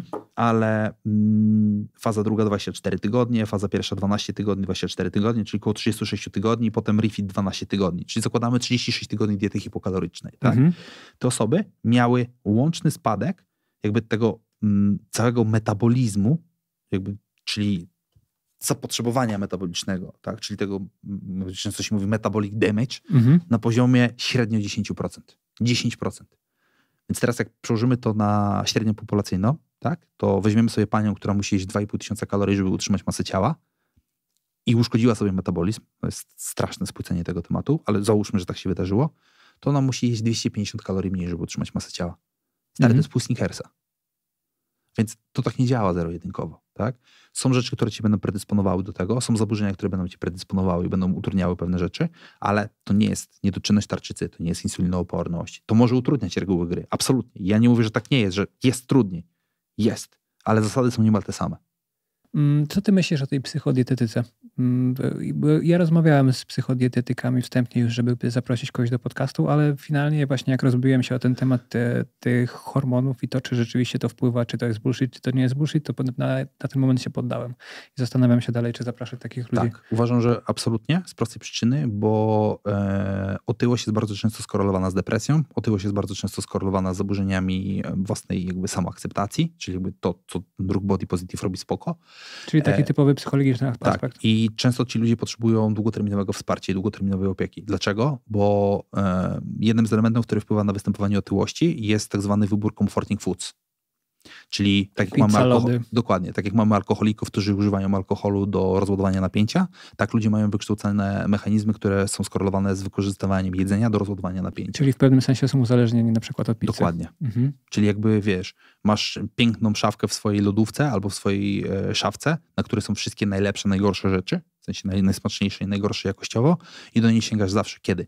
Dzwoni, nie wiem, siostra cię zdenerwuje, tak? Albo dziecko cię zdenerwuje, albo mąż na ciebie nakrzyczy, albo żona na ciebie mhm. nakrzyczy, nie? I masz comforting foods, bo dostajesz szybki jakby sygnał do twojego mózgu, że o, ale jest fajnie, nie? Nagroda, tak? Więc jest dużo takich problemów, które, którzy, które są do rozwiązania przez psychodietetyków. Nie? Wiesz, przez zrozumienie problemu, zrozumienie bodźców. Pracowałeś dla... z takimi ludzi? E, w sensie, czy ja pracowałem z psychodietetykiem? Nie, czy ty pracowałeś z nie, podopiecznymi, nie. których trzeba było wysłać znaczy, do... Tak i absolutnie mówiłem, że ja jakby musisz iść do psychodietetyka, tak? Albo musisz iść do dobrego e, psychologa, który z tobą przepracuje pewne problemy. Mhm. Mieli I... problem z tym, żeby na przykład nie podjadać? Na przykład. Mieli problem z tym, że nie kontrolowali swoich impulsów. Mieli problem z tym, że używali pewnych rzeczy jako e, rozładowania, tak? Więc no, tych elementów, które wpływają na ryzyko tyłości jest bardzo dużo. Dorzućmy do tego jeszcze również loterię genetyczną. Na dzień dzisiejszy wiemy, że jest około 900 genów, które mogą wpływać na to, czy będziemy miał predyspozycję do otyłości, czy będziemy miał predyspozycję do turboszybkiego metabolizmu i bycia po prostu szczupłym, tak? To tak samo jak z tym spaniem.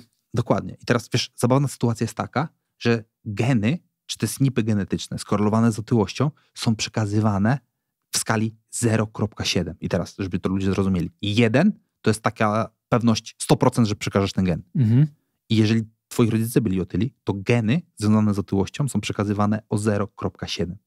Czyli turbo, ultra duża szansa, że jeżeli miałeś rodziców otyłych, to ty właśnie dostałeś predyspozycję genetyczną do tego, żeby być otyłym, jeżeli stworzysz sobie środowisko, które będzie predysponowało cię do przybierania masy ciała.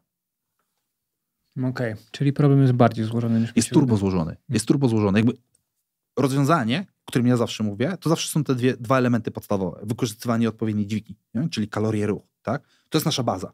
I ona się nie zmienia, bo żadna choroba... Ale w takim razie do rozwiązania to nie jest tylko ta dźwignia, do tego dochodzi jeszcze psychodietetyka, jeśli jest taka potrzeba. Tak, w sensie i tak pracując z psychodietetykiem, będziesz pracował dalej na dźwigni ruchu i dźwigni kalorii. Ale, ale do... będziesz pracował z psychodietetykiem. Tak, ale dostaniesz do tego jeszcze opiekę psychologiczną czy psychodietetyczną, która mhm. będzie związana z wytłumaczeniem ci pewnych procesów, empatią, wsparciem itd. Tak itd. Tak plus, plus być może musi być w to zaangażowany endokrynolog. Na przykład. Mhm. Albo dobry lekarz, albo ktoś, kto się zajmuje stricte farmakologią. Jak najbardziej. Otyłość mhm. jest naprawdę złożonym problemem. I, I, wiesz, ja zawsze mówię otwarcie, że ten problem ma dwie dźwignie, z których musisz korzystać, które są podstawowym elementem. Tak? Jakby nie ma opcji, w której jesteś w deficycie kalorycznym i nie chudniesz. Jeżeli mhm. nie chudniesz w deficycie kalorycznym, to prawdopodobnie ten deficyt nie jest zaplanowany pod ciebie. Po prostu. I to, że jakby wydaje ci się, że powinieneś jeść 1500 kalorii, to jest dużo szansa, że po prostu ci się wydaje.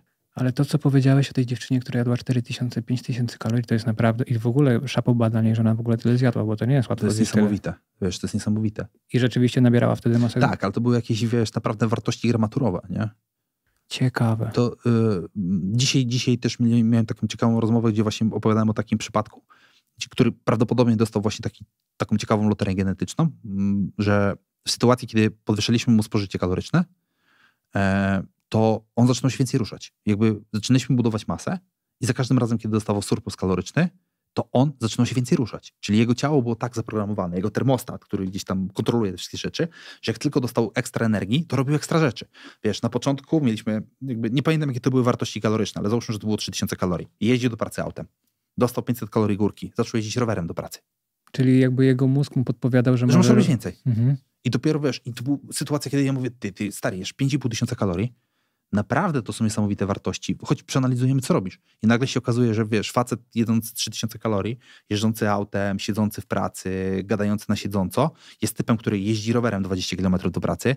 Wszystkie konsultacje, wszystkie rozmowy, wszystko odbywa na stojąco, chodzi i do wszystkich działów wchodzi, nie dzwoni, wraca rowerem do pracy, robi trening siłowy i po treningu siłowym jeszcze robi zaplanowane cardio. Nie? Ale zobacz, jaki to jest benefit dla innych ludzi, nie, nie tej konkretnie persony, ale dla kogoś, kto tego słucha i może sobie teraz wykminić, ok, może ja po prostu muszę jeść więcej po to, żeby mieć więcej energii, żeby robić rzeczy. Dokładnie dokładnie. A i w drugą stronę, może ja po prostu muszę ruszać się więcej albo jeść mniej, bo akurat a, doprowadziłem do sytuacji, kiedy mój metabolizm pracuje jak pracuje i mm. to są adaptacje metaboliczne i jest adaptowany i być może to, co zaplanowałem nie jest zupełnie moim dobrym rozwiązaniem, więc może albo muszę go w jakiś sposób stymulować, popracować nad tym, żeby móc jeść więcej, albo muszę jeść mniej, bo tak, na tyle rozchwiałem swój metabolizm e, i jakby to, jak on się zachowuje, że te pułapy nie są dla mnie i powinny być niżej. Mhm. Tak? To, co, o czym mówiliśmy na przykład w kontekście Koginsa, mhm. co jest super ciekawe. Mm, tak, to, to, było, to, było, to, było, to było dla mnie zaskakujące. Bo ja zapomniałem kompletnie, że on był otyły. Jak jakby obserwuje się Koginsa i to patrzysz... się zapomina. No, a ja sobie, się a sobie tego porównania. No, dokładnie. Um, czy do, do ciebie da się w tym momencie do, dostać jako do dietetyka? Nie. W ogóle? Nie. Ale jakby tako chciał, to by mógł dostać. Musiałby przejść przez takie samo piekło jak wszyscy. W sensie, ja mam... A masz kolejkę do ludzi do ciebie? E, nie. Czyli bo, nie, nie nie, bo listy? jeżeli mam wolne miejsca, to o tym informuję. Najczęściej jest tak, że prawdopodobnie któryś z moich podopiecznych jest zwolniony, dosłownie, po prostu jakby dostaje żółtą kartkę. Gadaliśmy o tym przy pierwszym odcinku nawet, -hmm. nie? I wiesz, po prostu mówię, stary, no jakby to jest bez sensu. To jest po prostu marnotrawstwo twojego czasu, mojego czasu i są ludzie, którym mógłbym realnie pomóc, więc szkoda, żebyś zajmował ich miejsce, nie? Jeżeli chcesz popracować z kimś innym, super, mogę ci dać numer do niego, może będzie dla ciebie lepszym wyborem. E, natomiast też staram się robić tak, że jeżeli nie mam wolnych slotów i ktoś do mnie pisze i widzę, mamy też opis problemu, taki pira ze drzwi e, w ankiecie wstępnej, to staram się odsyłać do odpowiednich ludzi. Na zasadzie, cześć, wybacz, no niestety nie mogę ci teraz pomóc, nie prowadzę list rezerwowych, ale na przykład mogę ci polecić takiego i takiego dietetyka, albo mogę ci polecić taką i taką dietetyczkę, która na pewno pracuje z tymi problemami, które masz do rozwiązania. Mm, czy ty się dygasz e, chorób neurodegeneracyjnych? Bardzo. Ja też się bardzo dygam. Bardzo. Robisz coś w tym kierunku? E, jestem nosicielem pięknego genu ApoE4, który zwiększa moją e, predyspozycję do wystąpienia Alzheimera o 40-50%, 50 razy nawet. E, u nas w rodzinie były dwa przypadki Parkinsona e, z dwóch różnych stron, więc jakby to. I to od jakiego wieku się zaczyna plus minus? Różnie. Teraz coraz powiem ci, że ostatnio chyba był przypadek nawet 18, znaczy na pewno 18-latka, tylko teraz nie pamiętam, czy z, z Alzheimerem, czy Parkinsonem, nie? ale to już miał pierwsze objawy chorób neurodegeneracyjnych w wieku 18 to lat. To jest hardcore, co? bo to jest coś, nad czym nie masz żadnej kontroli. Żadnej. Po prostu ci się dzieje i nic nie możesz zrobić. To mnie na maksa przeraża. Dobre wieści są takie, że mamy coraz więcej dostępnych leczeń biologicznych, które istotnie zmniejszają e, ryzyko Alzheimera oraz wpływają na jakby przywracanie twojej zdolności kognitywnych e, w trakcie tej choroby, więc jakby jest jakieś zielone światełko w tunelu. E, zła wiadomość jest taka, że oprócz narzędzi stricte lifestyle'owych, życiowo-żywieniowo-ruchowych, nie mamy zbyt dużo rzeczy, które mogą istotnie wpłynąć na ryzyko. Czyli albo będziesz miał, albo nie i tyle. I w dużej mierze jest to też zależne od ciebie. Nie? No jakby od tego właśnie, tej loterii genetycznej, którą dostałeś. Czy dziedziczyłeś ten gen i czy wstecz ktoś to miał. No, to jest hardcore. I tak samo demencja, to, to, że nie poznajesz ludzi na ulicy, to jest po prostu... Jest. Niestety, wiesz, mało osób patrzy na perspektywę swojego mózgu długoterminowo i na perspektywę e, tych funkcji kognitywnych długoterminowo, nie? Jakby, wiesz, nam się ludzie, wydaje... Ludzie patrzą, jak, ma, jak widzą starszych ludzi, jak mają dostęp do tego, a nie każdy ma dostęp, bo z reguły jak ktoś ma takie choroby, to siedzi pewnie w domu i ludzie go za bardzo po prostu nie widzą. I ludzie patrzą na to, kiedy już jest za późno. Czyli jakby myślisz o tym w momencie, kiedy zaczynasz mieć symptomy objawy i dostajesz e, szeroko pojęty wyrok, tak? a nie w momencie, kiedy masz lat 30 i jakby twój mózg jest turbosprawny. Mhm. A bierzesz w tym momencie jakieś suple, które myślisz, że mogą jakoś pobudzać twój mózg? Staram się, w sensie jakby staram się. Biorę, tak, oczywiście, że biorę te elementy, które wpływają na poprawę funkcji kognitywnych. E, jestem o te kilkanaście lat mądrzejszy, jeżeli chodzi o stosowanie nootropików. Jakby uważam, że jest wiele rzeczy, które po prostu są mi zbędne i których staram się nie nadużywać, nie używać. E, na pewno jakby, wiesz, mm, używam dużo choliny. Mm, po tych badaniach genetycznych wiem, że mam e, strzelony gen, który jest odpowiedzialny za używanie i produkowanie choliny i produkowanie acetylocholiny, mhm. więc jakby muszę ją wspierać, muszę ją po prostu suplementować po to, żeby zapobiegać tym wszystkim szeroko pojętym zwarciom w moim mózgu. Mam do tego wskazania. E, suplementuję też, mm, tak sobie myślę, duże dawki omega-3, turbo duże, bo jakby omega-3 jest zero. Czyli wiesz, wiesz więcej niż 6 gram dziennie? A nie, no to jakby jeżeli 6 gram dziennie omega-3 to jest turbo dużo, to ja mniej, bo jem około 4-5 gram omega-3 dziennie. Mhm. E, więc, więc jakby to jest ten element, e, który mocno na to wpływa. Jestem na protokole żywieniowym, który jest skorelowany z takim jakby bywaniem w keto, eliminuję węglowodany przetworzone, raczej ich w ogóle nie jadam. W ogóle węgli jest po prostu mało, najczęściej pochodzenia owocowego, dużo polifenoli, dużo antyoksydantów, dużo antocyjanów, po to, żeby po prostu inwestować e, w tą pracę mózgu. No i oczywiście też praca nad mózgiem, nie? czyli jakby codziennie rano apka, pik, która gdzieś tam pracuje, która wymusza na pracę mojego, stymulację pracy mojego mózgu, praca językami, no i nauka nowych umiejętności. Czyli w sensie, uczysz języków. Tak, cały czas stymuluje, cały czas trzeba ten mózg stymulować, bo to też jest ważne z perspektywy, my na to patrzymy z perspektywy, co mogę zjeść, co mogę dostarczyć, tak, a nie jak mogę nad nim pracować, nie?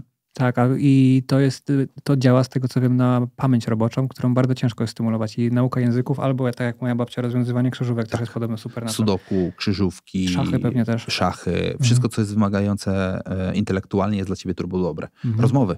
Wiesz, to też jest duży problem. Nie? Myślę, że podcastowanie dobrze będzie u mnie działało, mam na nadzieję pewno, przynajmniej. Na pewno, na hmm. pewno. Wiesz, jakby w ogóle jak sobie popatrzymy nawet na... Mm, to jest mega ciekawy temat. I ja na przykład byłem mega zaskoczony. Mega ciekawy temat, mega zaskoczony. Nie przejmuj się. Byłem mi... zaskoczony tym, że obserwując y, gdzie w Europie będziemy mieli największą częstotliwość występowania, największe ryzyko występowania chorób neurodegeneracyjnych w przeciągu najbliższych 10 lat. I są takie jakieś predykcje? Tak. Mhm. I teraz wszyscy myślą pewnie Europa Centralna, Niemcy i tak dalej. Czekaj, daj mi zgadnąć. A gdzie to by mogło być? A najmniej ludzie mieliby robić głową. Nie mam pojęcia, strzelę Włochy. Dokładnie. Basen, basen, morza, basen Morza Śródziemnomorskiego. Bo mi się wydaje, że oni są leniwi. Ale i, i teraz pokażę ci, jaka jest piękna korelacja. E, I teraz mamy najzdrowszą dietę świata. Dietę śródziemnomorską, która od chyba 25 lat jest uznawana za najlepszy wybór żywieniowy, za najlepszy model żywieniowy i rokrocznie wychodzą nowe publikacje, które pokazują, jaki jest zajebistym modelem. Mhm. Ja zawsze mówię, jeżeli miałbym wybrać jeden model żywieniowy trzymany do końca życia, to wybrałbym model diety śródziemnomorskiej. Absolutnie. Ale jeśli popatrzysz sobie na basen, na basen Morza Śródziemnomorskiego, czy tam Śródziemnego, chyba to jest poprawne nazewnictwo, to średnio statystycznie każdy z tych mieszkańców, jeżeli weźmiemy sobie właśnie Portugalię, Włochy, Francję i Hiszpanię, spożywa około 1,25 lampki wina dziennie. I to jest, to myślisz, że to jest problem? Czyli. Korelacja nie równa się, correlation doesn't mean causation, czyli jakby jest korelacja. Ale u nas się chleje wódę. ale jeżeli popatrzysz na stosunek spożycia e, właśnie tych jakby alkoholi, to tam nadal wypada więcej, nie? w kontekście średnio procentowych alkoholi. Hmm.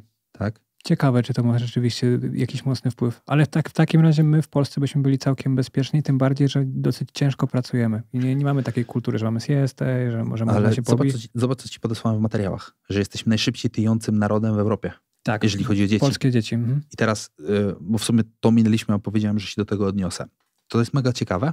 Wiesz dlaczego? Ja sobie to tłumaczę w ten sposób, że my dosyć późno weszliśmy w erę konsumpcjonizmu ze względu na PRL. Bo teraz też jesteśmy jednym z najszybciej rozwijających się państw. Dokładnie. Jakby wesz, weszliśmy w tą erę konsumpcjonizmu dużo później niż Stany, bo Stany zaczynały tą erę konsumpcjonizmu lata 50., 60., co widzimy nawet na tym wykresie w kontekście spożywania ilości kalorii. I my mamy taką opcję, to jest jakby moje przemyślenie, że staramy się teraz nadrobić ten cały stracony czas w kontekście konsumpcji.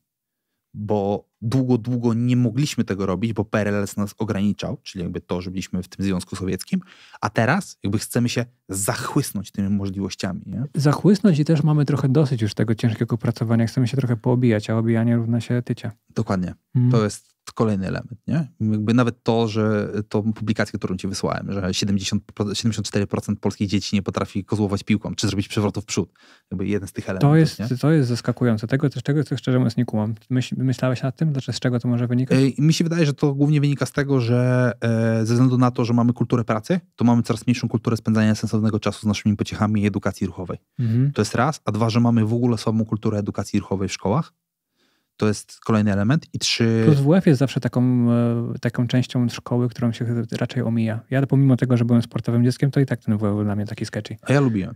Ja Mhm. lubiłem. Zawsze mi jarał. W sensie... Ja, ja na szczęście w chuj jeździłem na rolkach i mi się cały czas coś działo na WF-ie, więc mogłem mówić, że nie ćwiczę i tak jeździłem na rolkach, więc miałem załatwiony sport, ale i rzeczywiście tak miałem, że tylko zaczynałem grać w kosza i od razu mnie bolała kostka, czy, albo Ja kolano. właśnie dlatego grałem, bo totalnie ssałem w kosze i piłkę nożną, bo jak byłem dzieckiem, to mnie nikt tego nie uczył. Mhm. Co jest zabawne, bo mój brat był typowym sportowcem, wiesz, grającym w kosza, piłkę, pływającym i tak dalej, i tak dalej, więc ja byłem jego absolutnym przeciwieństwem, więc jakby nadrabiałem to na lekcjach WF-u, nie? Szczególnie jak zrozumiałem, że wiesz, chyba fajnie dobrze wyglądać, bo jednak gdzieś ten lubię, jak ty dobrze wygląda. Przynajmniej tak było w moich latach, kiedy byłem dużo młodszy, nie? No Tak- Myślę, że dalej tak jest, tylko się udaje się, że tak nie jest. Że Że, tak nie że, jest. że faceci napakowani to nie, że dziewczyny wcale tego nie chcą. Trochę Tak. jednak chcą.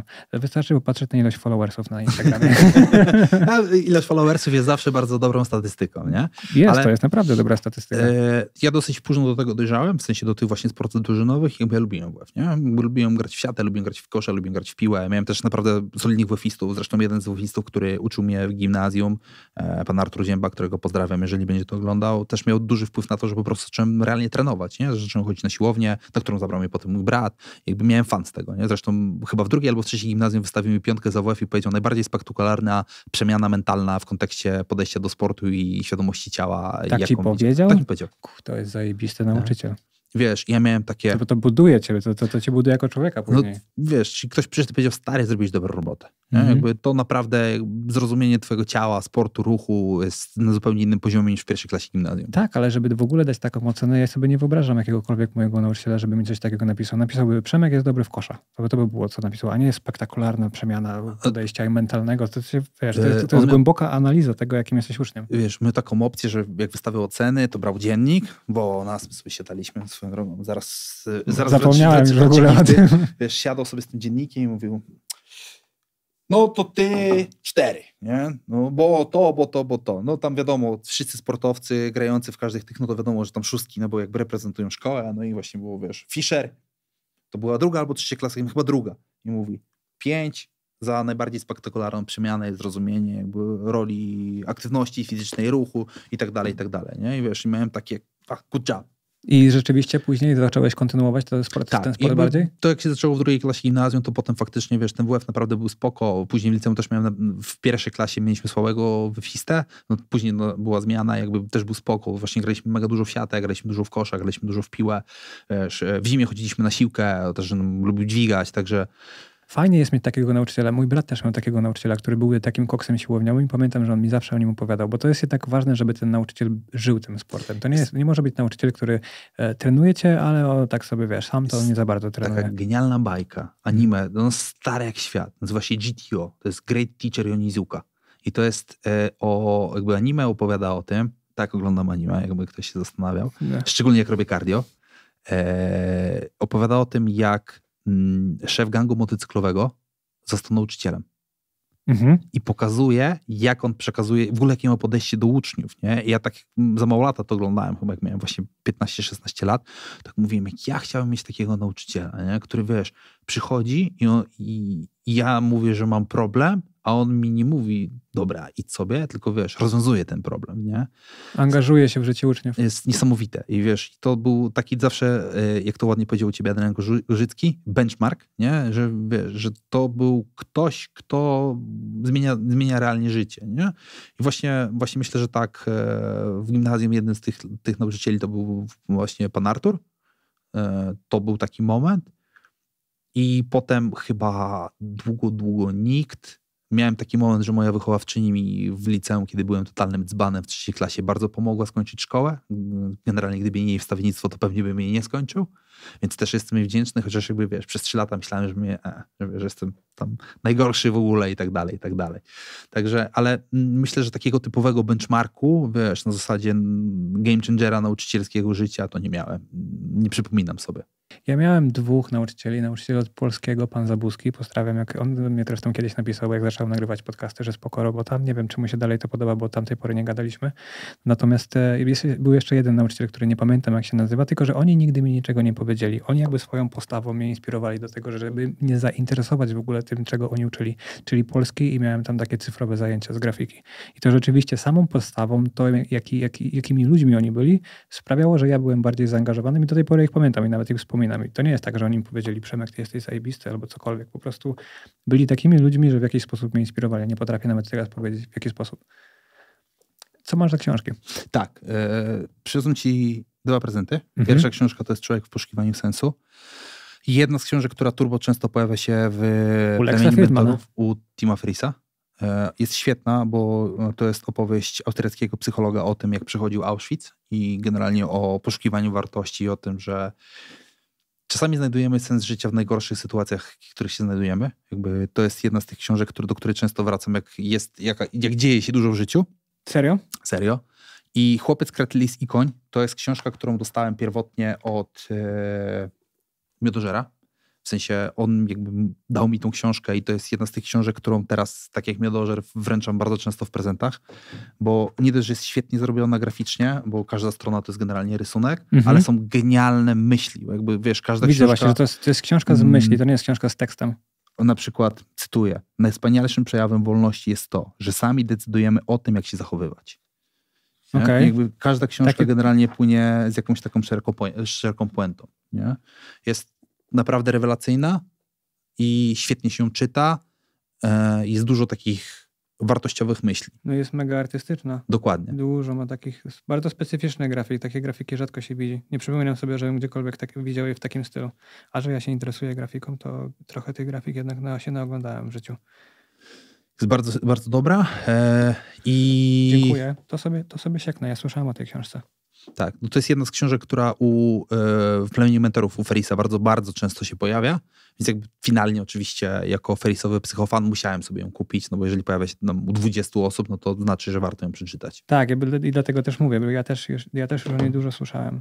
Oczywiście po angielsku, ale to, to i jeszcze ty mi to polecasz i nawet nie wiedziałem, że Feris też o tym dużo gada. No to są, to są mocne książki, domyślam się, że to jest mocna książka. O Auschwitz to nie jest nic... E, to nie wiem, czy to jest Auschwitz. Auschwitz? E, wydaje mi się, że Auschwitz albo... Jest napisane Holokaust, więc który, tak. w którymś z obozów. Tak, jestem święcie przekonany. Chyba, że tak właśnie ze zrozumieniem przeczytałem tą książkę. Jest duża szansa. Bardzo dziękuję. Może jest napisane z tyłu, czy to jest Auschwitz. No, nie jest to istotne. E, jeszcze chciałem cię zapytać o twoje koszulki. I to jest dla mnie zastanawiające. E, I to możemy od razu też pogadać o twoim tatuażu, bo ostatnim razem o tym nie pogadaliśmy. Czemu wypuściłeś koszulki? Bo ja się też zastanawiam, czy nie wypuścić jakiegoś produktu, ale z drugiej strony myślę sobie później, no i sobie wypuszczę koszulki, jak wszyscy wypuszczę koszulki, że to jest takie, że to, mam wrażenie, że to powinno być tak, że to ma jakąś myśl za sobą. Ma. No, mhm. moje koszulki mają. Mhm. Między innymi to. Wiesz, u nas to wygląda w ten sposób, że udało nam się stworzyć naprawdę solidną społeczność, która mają e, bardzo podobną filozofię życia, taką jak my. I między innymi często jest to właśnie w kontekście róż dupę, czy konsekwencja jest lepsza niż perfekcja, czy dyscyplina Trust jest lepsza niż motywacja, Mhm. trust the proces, czyli te rzeczy, te rzeczy, którymi my się też poniekąd kierujemy w naszej filozofii. Tak? I myśl była taka, że skoro stworzyliśmy tak solidną społeczność, tak solidnych ludzi, którzy jakby chcą reprezentować te same wartości, to możemy przełożyć te wartości na jakiś produkt, no więc oczywiście wybór padł na koszulki, ale jednocześnie oprócz tego, że chcemy przerzucić myśl, to chcemy wprowadzić konkretną jakość, czyli oprócz tego, że skupiamy się na tym, co chcemy przekazać, co chcemy powiedzieć, chcemy też dać ludziom naprawdę dobry produkt, czyli bazujemy na polskiej ekobawełnie, bazujemy na polskich szwalniach. Nie ściągamy niczego z Chin, nie ściągamy niczego z Bangladeszu, nie robimy po taniości i tak dalej, i tak dalej. I podobno wam już zepsuli w jednej w Tak, już tam zepsuli, znaczy z pierwszego mm, zamówienia, czyli z pierwszej partii 100 koszulek, z 96 poszło w odpad. Ja też swoją drogą, jak robiłem jakieś koszulki, to mi się zepsuli w tym, w drukarni. 96% odpadu. Dostały cztery, jakby jedną mam na sobie, jedną dostałeś ty, jedną dostał Rafał Mazur i jedna, jednej byłem dzisiaj na tańcach. Konsekwencja jest lepsza niż perfekcja. Dziękuję, czuję się bardzo wyróżniony. Ja tak swoją drogą, teraz ja w ogóle o tym zapomniałem. Ja robiłem jakieś koszulki i jak można, kurwa, prowadzić firmę, wysyłam im koszulki białe, piękne koszulki, oni mi je wysyłają, są rzeczywiście na druki, ale są zrobione krzywo i koszulki są poplamione czerwoną farbą. Czyli jakby, jak można się tak zachować? Oczywiście. No, u, nas, u nas wyglądało to w ten sposób, że na drugi były przesunięte o 14 centymetrów. W którą stronę? Wiesz, no jak masz, no, tu jak mamy już dupę, nie? jak wiesz, chcielibyśmy, że na przykład tu i tu jest 5 centymetrów różnicy, nie? Mhm. to na przykład wiesz, Ja pierdolę. Wiesz, i- Jestem i- ciekawy, co oni pijani to robią jakby... Nie mam pojęcia, ale CEO projektu, którym jest Kasia, bo jakby Kasia nadzoruje cały projekt, po prostu wiesz, już mam, mam nie dosyć, bo ja codziennie rano jak przychodzę do firmy i Kasia przyjeżdża, ja mówię, Kasia, jak tam? Dzwonię. Nie wiesz. I patent polega na tym, że nie dość, że na samą koszulki czekaliśmy turbo długo, bo naprawdę turbo długo, Mhm. to teraz mija półtora miesiąca od złożenia reklamacji, kiedy my ją dostaliśmy produkt. Tak? Czyli nie możecie odzyskać siana. Znaczy, jakby ja jestem już z tych dosyć inteligentnych inwestorów, nigdy nie daję 100% za projekt. Nie? Jakby Mhm. W sensie uważam, że nigdy nie płaci się za niewykonaną pracę z góry. Mam nadzieję, że ich dojedzie karma za takie zachowanie. To jest po prostu patologia. Tak jak ci zresztą pisałem, mostly patologia. Mostly, mostly patologia, dokładnie. Ale wiesz, nie ma tego złego, co by na dobre nie wyszło. E, Zresztą to też jest jeden z elementów, który obecnie mi mocno towarzyszy w życiu. Świetna książka Ryana Hol- Holiday'a, która nazywa się Obstacle is the Way. I jeden z tych cytatów, który teraz mocno wybrzmiewa w mojej głowie, bo też jesteśmy na takich etapach biznesowych, gdzie naprawdę turbo dużo się dzieje, że cokolwiek staje się przeszkodą, przeszkoda, przeszkoda staje się drogą. Mhm. Jakby to dokładnie przelaliśmy też teraz na filozofię Pura Vida Wear. Jakby się nie martwimy, po prostu umacniamy e, więź z naszą społecznością, staramy się przekazywać mniej więcej, jaka filozofia będzie szła za tym produktem, bo nie wiem, czy widziałeś, ale jakby w swojej koszulce masz taką piękną metkę, jakby nie będę zdradzał, na której znajduje się cała filozofia, jakby dlaczego teraz ten proces, o co w tym chodzi, tak? Ej, to jest fajne. Dokładnie. I jakby my chcemy tworzyć e, też turbo unikatowy produkt, to znaczy, że jeżeli jesteś posiadaczem jednej e, z koszulek Trust the Process, to daje ci gwarancję, że w takiej wersji, czyli na przykład białej, z czarnym napisem, z owalem, będzie 24 sztuki w Polsce. I nikt więcej ich nie będzie miał. Będą na, napisane, które to jest. Nie będziemy ich numerować, przynajmniej nie w tej serii, ale nie będą tylko 24 sztuki. Znaczy, będzie ich 25, więc ty będziesz miał jedną z 25 sztuk. No tak? i spoko, i to jest fajne story za koszulkami, które już mi, już mi to sprzedaje. I mam y, filozofię koszulki i wiem, że jest ich tylko 24. To już jest coś, to jest Więc- jakaś, jakiś wyróżnik, który ma dla mnie wartość. Dla mnie w dobie, kiedy wiele rzeczy staje się naprawdę mm, szerokich, czyli jakby my staramy się dotrzeć do wąskiej grupy, więc też nie chcemy tworzyć bardzo dużej ilości produktów.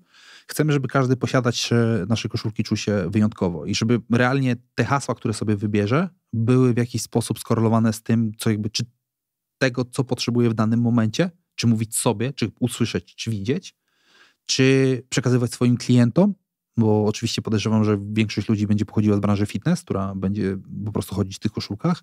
Albo z E- takiej biznesowej branży, tam też ludzie mają taki mindset. Tak, e, więc, więc myślę, że to będzie z tych jednych elementów i też chcemy docenić jakby to, że jesteś w naszej społeczności, kupiłeś od nas ten produkt, więc my dajemy ci gwarancję, że w takiej edycji już go nie będzie. Kupiłeś w tym dropie i już więcej nie będzie. Jeżeli pojawi się teraz The Proces, to będzie na przykład czarny z białym napisem, Mhm. tak? Żeby był zupełnie inny, albo będzie z fałką, albo będzie... I dla E, ludzi, którzy to kumają, oni mogą po pewnym czasie zacząć nawet rozpoznawać te produkty. O, masz tą koszulkę z tej z tej, z tej edycji. Więc y, dodatkowo też y, już wiemy, że będą powstawały edycje limitowane, które będą sygnowane przez inne persony ze świata na przykład biznesu. Nie? I będziemy wykorzystywać ich cytaty, czy będziemy wykorzystywać ich powiedzenia. Tak? Mhm. Na przykład Miodożer mi podał taki zajebisty, y, genialny Rashgard, gdzie jest wiesz, napisane to do list jest numer jeden, your mom. I skreślone. I jak zobaczyłem czyli ten projekt, to, mówię, jakie to jest piękne, nie? Jakie to jest, co prawda niekoniecznie się e, markuje z filozofią pura widełer, ale... I to jest dobry seksualny żart, tak? tak? Z tego to jest śmieszny żart. I, I śmiałem się, mówię, Miodek, słuchaj, to jakby niekoniecznie idzie z filozofią Purawida. On mówi, dobra, wiem, wiem, okej. Okay. Jakby mamy taki fajny pomysł właśnie na zasadzie na przykład your work day is my rest day. Nie? I właśnie dla takich psycholi typu Karaś. Nie? Co your, do mnie przemawia jak tak, najbardziej. Your, rest day is my, your work day is my rest day. Widziałeś tak. ostatnio, jakie wróciłem ogłoszenie o pracę? Widziałem. Wiesz, ile osób się odezwało? Wiesz, jakie to było dla mnie przyjemne wrócić to ogłoszenie do pracy? Jednocześnie to było takie fuck o tym wszystkim ludziom, co są owocowe czwartki, work-life balance i wszystko, Boże, jak takie jest ładne i doskonałe i Ja mogę ci powiedzieć, jak wygląda nas work-life balance w mojej firmie, jak wygląda praca moich pracowników. Generalnie e, mają nienormalizowane mm, godziny pracy. Mnie nie interesuje, o które przychodzą do biura. Jakby absolutnie mam to w tyłku. Mają robić robotę. Tak, to jest dokładnie. Praca. I wiesz, i ja mówię zawsze wprost. Są tylko dwie zasady w mojej firmie. Poniedziałek 8.30 i piątek 8.30 są spotkania, one są obowiązkowe. Dlaczego? Bo w poniedziałek 8.30 robimy plan na cały tydzień pracy, a w piątek 8.30 podsumowujemy cały tydzień pracy. I jeżeli się uda, to omawiamy to, co będziemy robić w najbliższym czasie. I teraz, jeżeli ja w piątek o 8.30 mam spotkanie i omawiamy rzeczy, które mieliśmy zrobić w tym tygodniu i nie są zrobione, to mnie interesuje, dlaczego są, nie są zrobione. Czy jakby to jest czynnik zależny od nas, czy jest to czynnik niezależny od nas? Czy ktoś z naszych pracowników, być może ja, bo też tak może być, czy Bartek, czy Kasia, czy osoby, które jeszcze pracują dla nas zewnętrznie, dały dupy? Dlaczego dały dupy? Jak możemy to następnym razem poprawić? Jak możemy usprawnić proces kontaktu, otrzymywania materiałów, wysyła, wysyłania materiałów. Ale to też daje taką ogromną samodzielność i odpowiedzialność tym ludziom, że oni wiedzą, że muszą sami się kontrolować i jednocześnie jak masz ludzi, którzy potrafią się samo kontrolować, a nie mają wyznaczonej godziny i wiedzą, że muszą być od tej godziny do tej godziny, to mam wrażenie, że można na nich bardziej polegać, że to są tacy bardziej odpowiedzialni, ogarnięci ludzie po prostu. Absolutnie. I wiesz, hmm. na przykład Bartek, e, mój IT, on ze mną trenuje o 5 rano. On za mną jeździ na treningi o 5 rano, robi treningi, idzie do firmy na siódmą i najczęściej siedzi tak długo, jak ja jestem, albo rzadko wychodzi wcześniej, tak? No i to jest spoko, a ja szukałem akurat osoby do sprzedaży i ja chciałem, chciałem konkretnie osobę z takim morderczym charakterem i dlatego to w ten sposób zakomunikowałem, za, za bo chciałem taką osobę, która będzie po prostu trochę jeszcze bardziej pierdolnięta niż ja, która, której ja będę miał dość, a nie na odwrót. I, I mam nadzieję, że znalazłem już taką osobę i fajnie, że są tacy ludzie. Cieszyłem się, że mogę wstawić takie ogłoszenie, że ludzie się rzeczywiście odzywają, a nie, że jest jakieś, jak to, y, nienormowane godziny pracy, to ja nie przyjdę do takiej roboty. No to nie pisz. To znaczy, że ta oferta nie jest skierowana dla ciebie. Jakby to jest, to jest tak zabawne w dzisiejszych czasach. Ja jak to sobie obserwuję, to czytasz ofertę, jeżeli ta oferta, czy w ogóle jakiś tekst w jakiś sposób cię oburza, to pojawia się pytanie, dlaczego cię oburza. To jakby co w tym tekście jest takiego oburzającego dla ciebie, że uderza w twoje jakieś podstawowe wartości? To jest pierwsza kwestia. A po drugie, jeżeli to jest w jakiś sposób oferta pracy, reklama jakiegoś produktu lub cokolwiek innego, to go nie kupuj. Albo możesz nawet zablokować. Ja do tego zawsze zachęcam. Jeśli ktoś cię nie interesuje, to po prostu można kogoś I... zablokować, zablokować firmę, kliknąć, żeby ta reklama ci nie, nie, wyświetlała. Nie wyświetlała. Tak, Taki jest problem. To będzie jedyny blues, którego dzisiaj użyję. E, jest takie piękne powiedzenie, że jeżeli masz nietolerancję mleka, to nie pijesz mleka, a nie chodzisz ze sloganami jebać krowy. Mhm. Dokładnie. Tak? Dokładnie. Um, I to mnie, to mnie zawsze zastanawia. Czy, i, a to jest jeszcze druga sprawa tego problemu jeśli skrolujesz telefon i widzisz reklamę, która cię denerwuje i denerwujesz się, to marnujesz czas w tym momencie. Teraz poświęcasz czas i marnujesz swoje emocje na to, żeby być zdenerwowany. Po prostu można to zablokować, wyłączyć, nie używać i nie mieć problemu i się nie denerwować, a nie siedzieć po prostu sfrustrowany i myśleć sobie, jacy pojebani ludzie, chociaż od razu teraz wracam do tego, do, do tych koszulek, bo my dzisiaj trochę czasu poświęciliśmy na hejtowanie ludzi od koszulek. ale, ale to dlatego, bo byliśmy zaangażowani biznesowo. To jest już troszeczkę da, dalej idąca e, tak, kwestia. Tak, czy to jakby ma stricte podwalenie w doświadczeniu i doświadczenie było niekorzystne, dlatego mamy to przełożenie na niekorzystne odczucia związane z tym biznesem i z tą gamą ludzi. To nie wynika, że e, znaczy trochę wypiliśmy mleko i, i mamy z tego niekorzystne, sfermentowane mleko, to jest dobre powiedzenie. Ale to, objaw, e, inaczej, krytyka, która ma podwaliny związane z tym, że robisz coś źle i jakby ktoś ci wypunktuje, że w jego ocenie, to jest zabawne, że w, w, jego ocenie robi coś źle, no to jakby to, to mi się podoba, co ty robisz, nie? Na zasadzie, no, no okej, okay, super, ale mnie nie interesuje twoja ocena, nie? To jest genialne, e, w swojej prostocie, ale jeżeli to jest konstruktywna krytyka, to którą będą jakieś racjonalne argumenty, które wynikają na przykład z błędów merytorycznych, które być może ja popełniłem w tym podcaście, bo absolutnie nie jestem alfą i omegą w wielu kwestiach. E, nawet w, w, wielu kwestiach dietetycznych nie uważam się za alfę i omegę, na przykład w kontekście psychodietetyki nie mam pojęcia, jakby, bo się tym nie zajmuję. Na szczęście ja mam. e, więc więc e, jakby konstruktywną merytorykę, która, stary, jakby, wiesz co, jakby popełniłeś takie i takie błędy, to można było zrobić, to można było zrobić tak, to jakby tak wygląda to statystycznie, okej, okay, super, dzięki, stary, no właśnie spowodowałeś, że stałem się o 1% lepszą osobą się czegoś nauczyłem, tak? Ale to trzeba zakomunikować w bardzo konkretny sposób, a nie tam komunikować, że a mi się to nie podoba, bo dlaczego robisz to tak, to, to, to jest... Ludzie nawet te wiadomości, które do mnie piszą, gdyby napisali w inny sposób, to ja bym tego nie hejtował, bo nie miałbym z tym problemu, bo niektóre nawet mają sens, ale jakby sam sposób tego, jak ktoś do ciebie podchodzi, po prostu się do ciebie przypierdala hamsko, no to tak się nie komunikuje z ludźmi po prostu. Ty jak robisz u siebie, jak ludzie w ten sposób się odzywają? Nie odpisuję. W ogóle? Nie. Ja mam taką roganową zasadę, nie? Drop and forget. Mhm. My, y, to jest kolejny ten cytat Roganowski, który idzie za mną od lat, nie? że głupszy od ludzi, którzy piszą komentarze, hejtujące komentarze, zaznaczmy, są ci ludzie, którzy je czytają. No jakby to jest... I jeszcze ci, co, który, głupsi ci, którzy odpisują. Ci, którzy odpisują. Jakby... Po pierwsze, nie widzę powodu, dla którego muszę się przed kimkolwiek tłumaczyć. Jeżeli nie jest moim partnerem biznesowym, partnerem życiowym, moją e, mamą, którą pozdrawiam, bo dzisiaj jest Dzień Mamy. Dzięki mamo, że jesteś. Ja również pozdrawiam moją. Rzeczywiście dzisiaj jest Dzień Mamy. E, moim tatą, moim bratem, jakby, czyli osobami, które miały realny wpływ na to, jakim jestem człowiekiem, tak? E, I tyle. Jakby ja generalnie jestem im odpowiedzialny.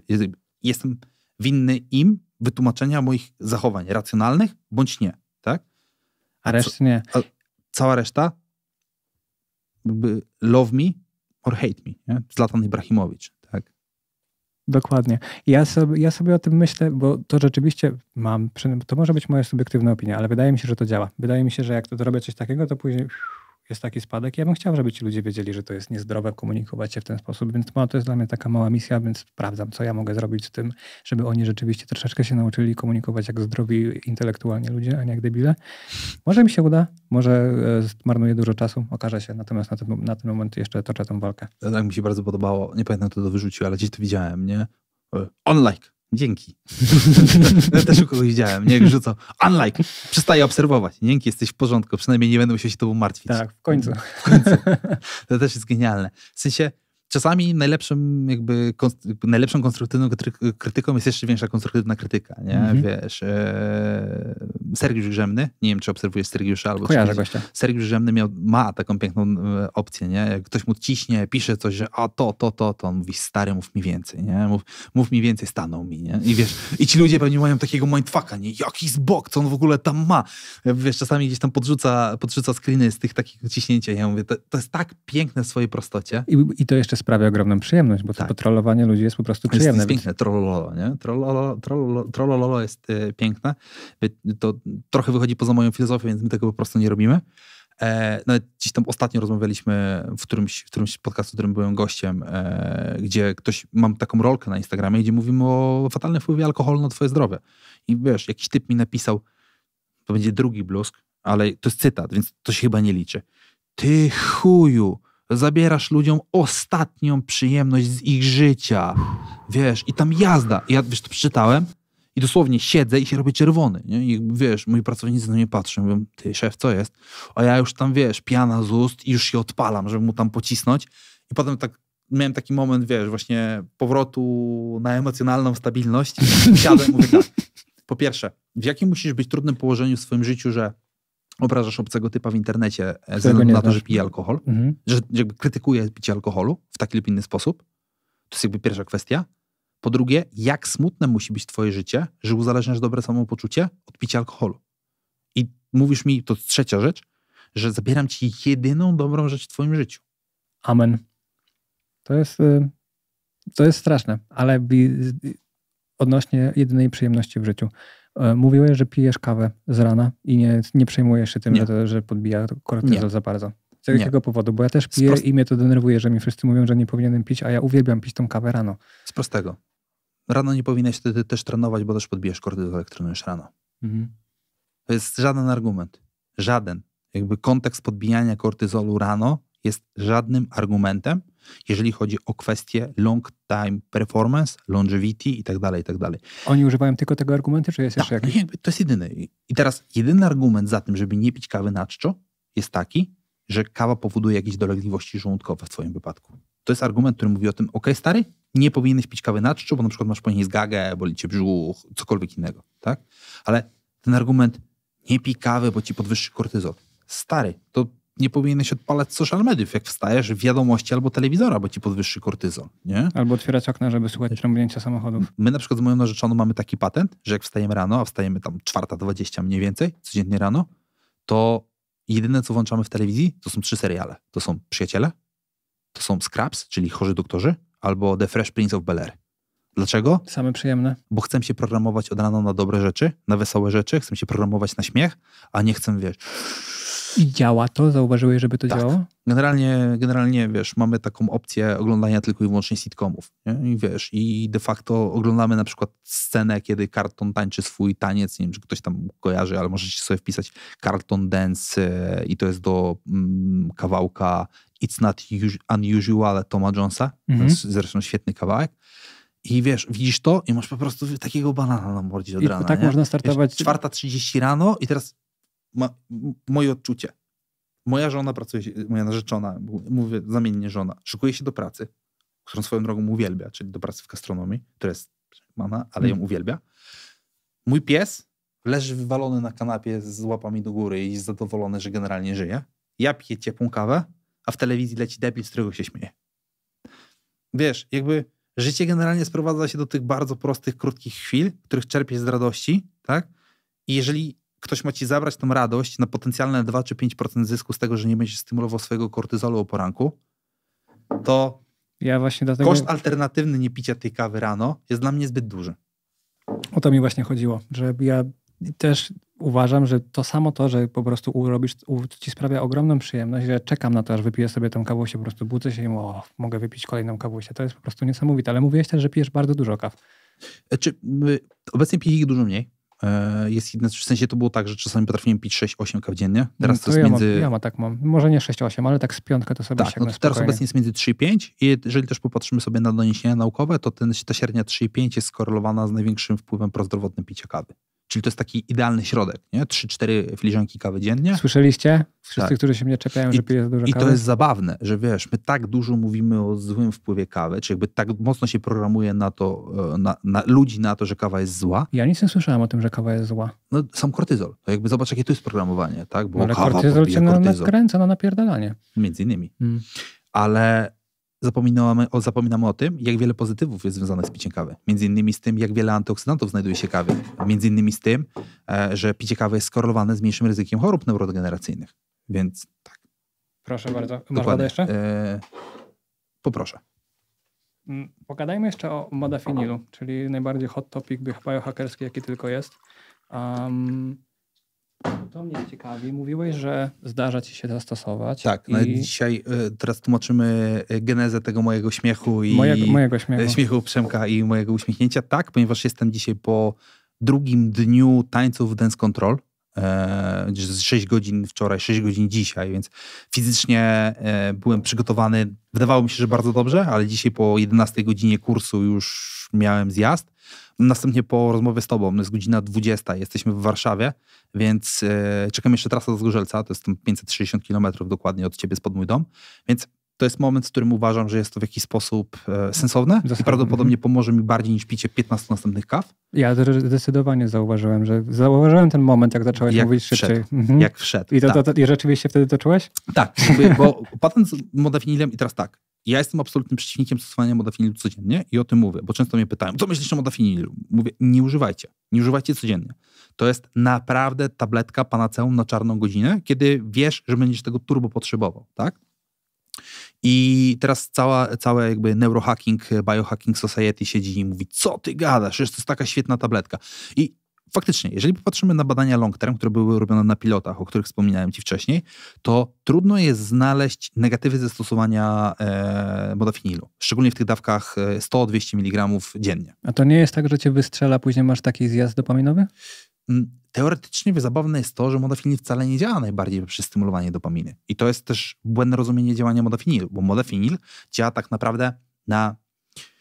E, ta stymulacja poczucia e, skupienia odbywa się poprzez receptory histaminowe. Mhm. Dalej, dobre samopoczucie i taki lepszy humor odbywa się poprzez stymulowanie serotoniny.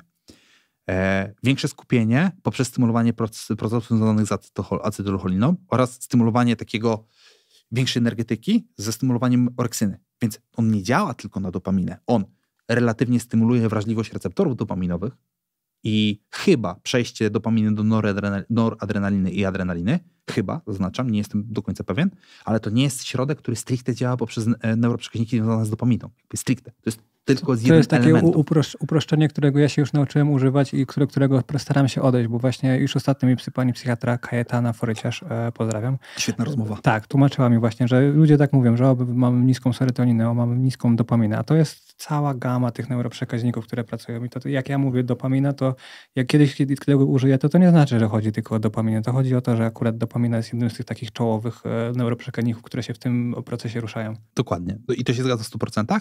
I e, to jakby ta rolka spowodowała, że chciałem przesłuchać tego podcastu, bo no, nagle zobaczyłem, że ktoś mówi o neuroprzekaźnikach w taki sposób, w jaki powinno się o nich mówić, że my nie jesteśmy sumarycznie skorelowani z jednym neuroprzekaźnikiem. W sensie, jeden neuroprzekaźnik może już mocno mieszać i zmiany w tym neuroprzekaźniku mogą mocno mieszać, ale to najczęściej jest kaskada zmiennych. Tak? Więc i ja dlatego tak bardzo często wspominam o tym, że ja strasznie nie lubię inwestować bezpośrednio w neuroprzekaźniki, w sensie jakby, czyli nie wiem, chcę podbić dopaminę, to ładuję L-dopę. Nie? Mhm. Nie, jakby wolę zadziałać na przestrzeni stymulowania produkcji dopaminy albo stymulowania wrażliwości receptorów dopaminowych albo hamowania obrotu dopaminy w naszym mózgu, tak, niż stymulowania zawartości dopaminy w mojej głowie. Nie? Więc tak, neuroprzekaźniki są w ogóle turbo skomplikowanym tematem i ja miałem taki moment e, Dunninga Krugera z neuroprzekaźnikami, gdzie wydawało mi się, że wiem wszystko, a teraz wiem, wiem, że nie wiem nic. I jak słucham takich mądrych ludzi jak pani Kaja, to wtedy wiesz, siedzę i mówię, ona była jeszcze fajniejsza po podcaście, no bo oczywiście to jest lekarz, więc jak jesteśmy tutaj, rozmawiamy, się wszystko nagrywa, to mi tam może powiedzieć tyle, co mi może powiedzieć lekarz, bo jest e, objęty jakimś tam, jakąś odpowiedzialnością. Natomiast ci ludzie z reguły po podcaście są jeszcze ciekawsi. Tak tego chciałem zaznaczyć. Tak, no to się zgadza. To się absolutnie zgadza. I to nie jest taki prosty temat, tak? Więc to samo z modafinilem. Jakby ten schemat działania modafinilu jest wielotorowy, faktycznie może wpływać na dopaminę, noradrenalinę i adrenalinę, w sensie wpływa, ale to nie jest jedyny element, w jaki on działa. Tak? I on też właśnie działa na przykład na, z perspektywy poprawy humoru. No właśnie przez działanie noreksyny czy serotoniny. To są takie dwa neuroprzekaźniki związane z humorem i well-beingiem. Tak? Mhm. E, zwiększenie uczucia takiego delikatnego napięcia, w sensie to jest high alertness. No, u nas nie ma takiego pięknego przetłumaczenia z angielskiego na polski. E, ten high alertness, tam takiego czuwania, pobudzenia. E, to jest właśnie między innymi stymulowanie, Gotowość. stymulowanie histaminy. Mhm. Mm, I działa wielotorowo. Natomiast ja z perspektywy swojej pracy i pracy z przedsiębiorcami, którzy mieli tendencję do nadużywania modafinilu długoterminowego. Na, e, mieli tendencję do nadużywania, czyli ile brali? Na przykład 400 mg dziennie, nawet codziennie. 200 mg codziennie i to długoterminowo, typu rok, dwa lata, trzy lata. To nie? można to tyle brać i nie wykorkować? No, badania na pilotach chyba obejmują zakres 4 albo 5 lat brania. Codziennie? Tak, tak mi się wydaje, codziennie. Na takiej wystrzałce? Tak. Może, można by było to sprawdzić, ale warto to sprawdzić i poprawić to, co mówię, ale były turbo długoterminowe, mm. to na pewno. I efekty uboczne obejmowały głównie bóle głowy. Nie? Co jakby jest charakterystyczne dla modafinilu, że możesz mieć bóle głowy na przykład następnego dnia, kiedy jakby działanie modafinilu się kończy, bo on ma okres półtrwania 12-16 godzin. Nie? 12, czy jeśli brać, to chociaż ty, ty to teraz wziąłeś teraz przed podcastem, no tak. będziesz miał problem z zaśnięciem później. No, plus 6 godzin jazdy, czyli jak dojadę, to będzie druga w nocy. Dasz radę zasnąć? Myślę, że tak. Myślę, że trasa mnie na tyle zmęczy, że Powiedz, opowiedz mi w takim razie, jak to, jak to działa plus minus. Jeśli załóżmy, wrzucasz sobie jedną tabletkę, czyli 200 mg, 100, 100 mg, to jak, jak, po ilu jest wjazd przede wszystkim? Dosyć szybko. No, okres jakby wchłaniania jest bardzo krótki. To tak jak mówię, mówiłem 15-20 minut i chyba tak nam nawet wyszło w podcaście, że po 20 minutach już było czuć, że jakby to wjechało. Mhm. E, podejrzewam, że na nagraniu będę miał oczy jak 5 zł. No to nie wynika z nadużywania środków związanych z liściami koki, tylko właśnie z modafinilem. E, I takie 15-20 minut, okres półtrwania 12-16 godzin mniej więcej. Jak w momencie wjeżdżania to jest nieprzyjemne? Jest takie zaskoczenie? Nie, czy... nie, nie czujesz tego tego. W sensie jakby ten flow się zmienia naturalnie. Okej, okay, bo tak? są takie dragi, że jak ci wjeżdżają, to masz takie... Nie, nie, nie. To zaraz przy, nie ogarnę. Przy modafinilu ten flow jakby zwiększa się absolutnie naturalnie. Tak? Mhm. E, ja pamiętam jak dzisiaj, jak pierwszy raz e, moja narzeczona dostała, jechaliśmy w góry mm, i dostała właśnie pół tabletki modafinilu, to generalnie miała takie tempo spacerowe, taką temperaturę ciała, bo też nasila jakby termogenezę, że ściągała rękawiczki, gdzie ona jest naturalnie zmarzluchem. Nie? Jakby wiesz, mówię, fenomenalne, fenomenalne, super, fenomenalne. Um, powiedz mi, jak to, jeśli ktoś jest taką osobą wrażliwą na takie środki jak ja, ja jestem turbo wrażliwy, czegokolwiek nie zażyję, to muszę brać absolutnie najmniejszą dawkę i mdleję przy, jestem po prostu wrażliwą osobą na, taką, na takie rzeczy co, jakie są potencjalne zagrożenia dla mnie i na co powinienem uważać, jeśli w ogóle miałbym kiedyś coś takiego przyjąć? Uczucie niepokoju, gorsze samopoczucie, nadmierna stymulacja, uczucie nadmiernego pobudzenia, to są takie najczęstsze. Mhm. Czyli jakby właśnie związane z tymi stricte zmianami w neuroprzekaźnikach. I, ale jest szansa, że na przykład będę się czuł źle przez następne dwa tygodnie? Czy... Nie, nie, nie powinno. No jakby ten, wiesz, po 16 godzinach jest washout, więc mhm. nie, nie powinieneś mieć tego odczucia. Wiecie, to nie powinieneś, to jest oczywiście kwestia e, bo, indywidualna. Bo, bo, bo, nie wiemy, jakby, wiesz, jak ten balans neuroprzekaźników w ciebie zadziała, tak? Mhm. I czy dojdzie do jakiegoś dysbalansu, i czy w ogóle dochodzi do tego dysbalansu, bo samo badanie neuroprzekaźników w kontekście jakby składowych krwi i mózgu to jest turbo trudne. Jakby nie jesteśmy w stanie tego zrobić jakoś mega dokładnie, tak? Mhm. Przynajmniej na obecny stan wiedzy nie jesteśmy w stanie zrobić. Jesteśmy w stanie sprawdzić metabolityzm oczem, to są mega drogie badania, chyba nawet w Polsce jeszcze niedostępne, albo dostępne w niewielu placówkach, więc wiesz, jakby te metabolity jest ciężko określić, tak? Więc zakładam, że nie, natomiast to są kwestie tak indywidualne, że może wydarzyć się wiele różnych rzeczy, czego przykładem był różeniec, który zastosowałeś, który ja zawsze mówię, że jest turbo skuteczny, tak, a u ciebie wywoływał stany niepokoju. Stany niepokoju i siedziałem w podcaście i, tu, tak, i tutaj mi latało cały czas. No. Ale okazało się, że mam tężyczkę i podobno to też są objawy. Może tak. to jest jakoś skrolowane. Może być. No. Um, stosujesz jeszcze jakieś przyspieszacze w takim razie, jeśli masz potrzebę? Nie. Modafinil to, jest, modafinil to jest maks rzeczy, które stosuję yy, i to jest naprawdę pięć razy do roku, sześć razy do roku. E, Czy tak rzadko? I to jest, wydaje mi się, takie zdrowe podejście, bo to rzeczywiście pokazuje, że wrzucasz to tylko wtedy, kiedy rzeczywiście potrzebujesz. Dowozisz i jak rozmawiam z tobą tyle czasu, ja nie widzę, żebyś ty był wystrzelony. Ja wiem, wiedziałem, kiedy ci wjechało, ale to dlatego, bo ja kiedyś chodziłem na imprezę, ja widzę, jak, no jak komuś wchodzi. I switch, jak dochodzi do tego switcha. Tak, jakby to jest ten plus modafinilu, że mm. Znaczy, to jest plus i minus. Bez, niebezpieczeństwo jest takie, że to jest relatywnie fajne. Czyli jakby masz to uczucie, że wszedł, jest lepiej, czujesz, że stajesz się bardziej wydajny i wydolny, ale jednocześnie dzięki temu, że nie masz jakichś turbosidów, możesz dosyć łatwo stosować to jako tak zwanego doraźnego tiktaka. Tak? Mhm. I ja tego nie lubię. I osoby w to wpadają. Dokładnie. Jakby jest tendencja do nadużywania. E, I, przy, jakby przechodząc z science-based na practice-based, to ja bardzo często widziałem u tych e, przedsiębiorców, którzy mieli tendencję do nadużywania e, modafinilu, bardzo duże zaburzenia w krzywej kortyzolu albo w ogóle bardzo niskie poziomy kortyzolu. Czyli, Czyli, układ nerwowy nie nadążał za tempem pracy twojego ciała czy twojego mózgu. Czyli e, na mój rozum brakowało jej motywacji. Nie mogli już się zabrać do pracy. Czy stymulowali się modafinilem, a układ nerwowy wchodził jeszcze w głębszą dupę niż był. Czyli jak to się przejawiało w tym, jak funkcjonowali? Znaczy, to, to znaczy, że jakby nie wzięli, jeżeli by nie wzięli modafinilu, to nie byliby w stanie zrobić nic.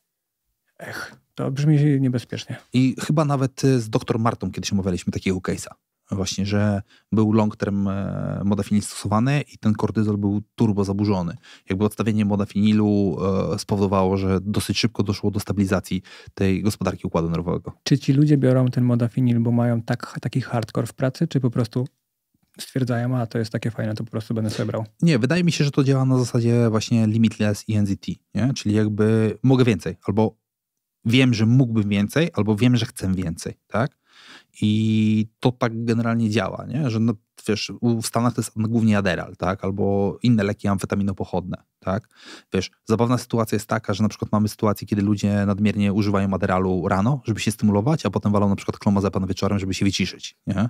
Ale to tak wygląda i powiem ci, że to jest straszne, że gdzieś tam faktycznie, e, jak popatrzymy sobie na te sfery e, dzieci bogatych ludzi, to często widzimy, że tam jest, wiesz, Valium albo e, benzodiazepiny, albo mm, leki przeciwbólowe są turbo nadużywane. Dlatego mamy tam wiesz, szeroko pojęty kryzys, na przykład z opioidami. Oni tam dużo też mówią o lekach przeciwbólowych, których my chyba tu nie stosujemy, bo Rogan bardzo często mówi, że kto, jak ktoś do niego przychodzi i mówi, że stosuje leki przeciwbólowe, to Rogan mówi nie bierz tego, nie bierz tego. To jest, Opioidy, To leki opioidy. opioidowe. On o tym mówi. Tak. Bo, bo ja się zastanawiałem, ja biorę dużo ibupromu, jak mnie coś boli, jak mnie, ja, ja uważam, że szkoda czasu na ból głowy, więc jak mnie tylko boli głowa, od razu rzucam dwie tabletki ibupromu. Tak się zaczą, zacząłem zastanawiać, czy to przypadkiem nie jest to samo, ale mi się wydaje, że on mówił o ibu, ibuprofenie. NLPZ, czyli niesterydowe leki przeciwzapalne, to jest bardzo szeroka grupa, w którą wchodzi m.in. E, ibuprofen, w którą wchodzi m.in. chyba diklofen, na pewno wchodzi, paracetamol nie jest, e, chyba paracetamol nie jest NLPZ-em. Wydaje mi się, że nie jest, bo wiem, że za to uwalali na egzaminie z farmakologii, że wpisywałeś chyba paracetamol na NLPZ-y. Mhm. Tak, bo paracetamol chyba nie działa przeciwzapalnie. To jest ta różnica. Znaczy 99%. Zdrowe czy niezdrowe? W nadmiarze absolutnie nie. W sensie, Czyli wiesz, jak wezmę po- sobie dwie tabletki raz w tygodniu max, to, to nic mi się nie stanie. czy to i tak dużo, bo to pytanie, po co je bierzesz, nie? W sensie jakby co warunkuje to, że powinien, że, że musisz brać ibuprofen. Nie, ja mnie boli głowa, ale to nie jest raz w tygodniu absolutnie, to jest raz w miesiącu. To wiesz, e, long term, dużo, może być problematyczne i jest problematyczne, jakby badania to pokazują, że nadużywanie NLPZ-ów wszelakich jest problemem. E, Short term, doraźnie, nie, wiesz, jakby to w tym wypadku najczęściej od tych leków przeciwbólowych, o których mówi Rogan, uzależniają się na przykład sportowcy po operacjach, nie? albo ktoś po wypadkach. On mówił, że Cameron Haynes chyba ma problemy z tymi lekami, bo jego cały czas coś boli, bo on biega 20 mil dziennie. I mówił, że non-stop jest na lekach przeciwbólowych. Bardzo możliwe. E, Wiesz, jest taki świetny odcinek z braćmi Bell, Bell Brothers, z Markiem Bellem i, o kurczę, nie pamiętam, jak się nazywa ten drugi Bell. Mhm. I oni mieli starszego brata, który właśnie zmarł z powodu przedawkowania leków przeciwbólowych. I oni są propagatorami takiego zioła, które nazywa się kratom. I kratom ma bardzo podobne działanie do leków przeciwbólowych, właśnie związanych z opioidami. I jest turboskuteczny. E, Ja testowałem kratom, ściągałem z Holandii. Teraz wszystkie służby ABW się uruchamiają. Pozdrawiam. E, Słuchających nas Tak, doktor agentów. Długi cię będzie ścigał. E, znajomy mi wysyłał i właśnie miałem w dwa, to był 2018 rok taki poważny wypadek, w sensie baba mi skasowała całe plecy. E, Zuzanna Sobczak mnie wtedy turbo naprawiała, bo przez trzy tygodnie spałem w takiej pozycji, wiesz, na kanapie oparty i tylko poduszka podpierająca kark, żeby zasnąć. E, I kratom mi pomógł, nie? Bo jakby wiesz, ja nie jestem fanem NLPZ-ów, nie uży, staram się ich nie używać, staram się ich nie, nie nadużywać. E, lekarz żaden nie chciał mi przypisać żadnych, wiesz, blokad ani innych takich rzeczy, bo wiesz, było, pan fejkuje, nie? Jakby wszystko z panem w porządku. A jakieś E, ketanole? Nie pomagały, wiesz, nawet pięćdziesiątki, setki, było turbo źle. Wow, to, bo to jest mocny lek przecież. To ci już to ja brałem tyle ketanolu, że przestawało mnie boleć to, co mnie bolało, ale brzuch mnie zaczynał boleć. E, U mnie to wyglądało tak, że na przykład e, budziłem w nocy, czołgałem się dosłownie do sypialni, e, budziłem swoją narzeczoną i prosiłem ją, żeby zrobiła akupunkturę bańki, żeby rozluźnić powięź, nie? która mi się spięła. Dosłownie. I na przykład, wiesz, na pół godziny był spokój, a to była trzecia, czwarta rano, tak? E, dost, jakby sam, sam wstrząs powypadkowy był turboluźny. W sensie, wiesz, pierwsze dwie doby w ogóle mi się wydawało, że nic się nie stało. A to w ogóle było Wielkanoc i siedząc przy stole wielkanocnym u mojej cioci, przy moim kuzynie i nagle, wiesz, czuję, nie? Jakby jak powięzi się tak dopinają, spinają i generalnie nie mogę wysiedzieć, to dostałem tramal, to tramal, po tramalu mi puściło, ale jakby no nie chciałem nadużywać tramalu, więc To jest wiesz, jakiś hardkorowy lek. hardkorowy, turbo hardkorowy. Fuck, no kontuzje są przejebane i zażywanie jakichkolwiek leków też jest przejebane, bo nigdy nie wiesz, jak to na ciebie wpłynie na dłuższą metę. Jak, tak jak z każdym suplementem, też nigdy nie wiesz, jak, o nie licząc jakichś tam podstawowych suplementów, nigdy nie masz gwarancji, jak dane zioło, dany adaptogen, dany produkt na ciebie wpłynie. Nie? Jakby to jest ten koszt alternatywny, który rośnie, e, który się pojawia z zastosowaniem danych produktów. Mhm. Tak, by the way, robiłem ostatnio badania krwi, B12 mi już spadło. Odstawiłem wszystkie suple, bo ty mi kiedyś mówiłeś, że mogę mieć zwichrowane jakieś geny i Tak. dałeś mi inne suple, tamte też musiałem odstawić i w końcu pierwszy raz od chyba roku mam B12 W normie. nie w normie, ale już dużo, dużo niżej. Dużo niżej. Bo ja Jasne. miałem tak z dwa razy ponad normę.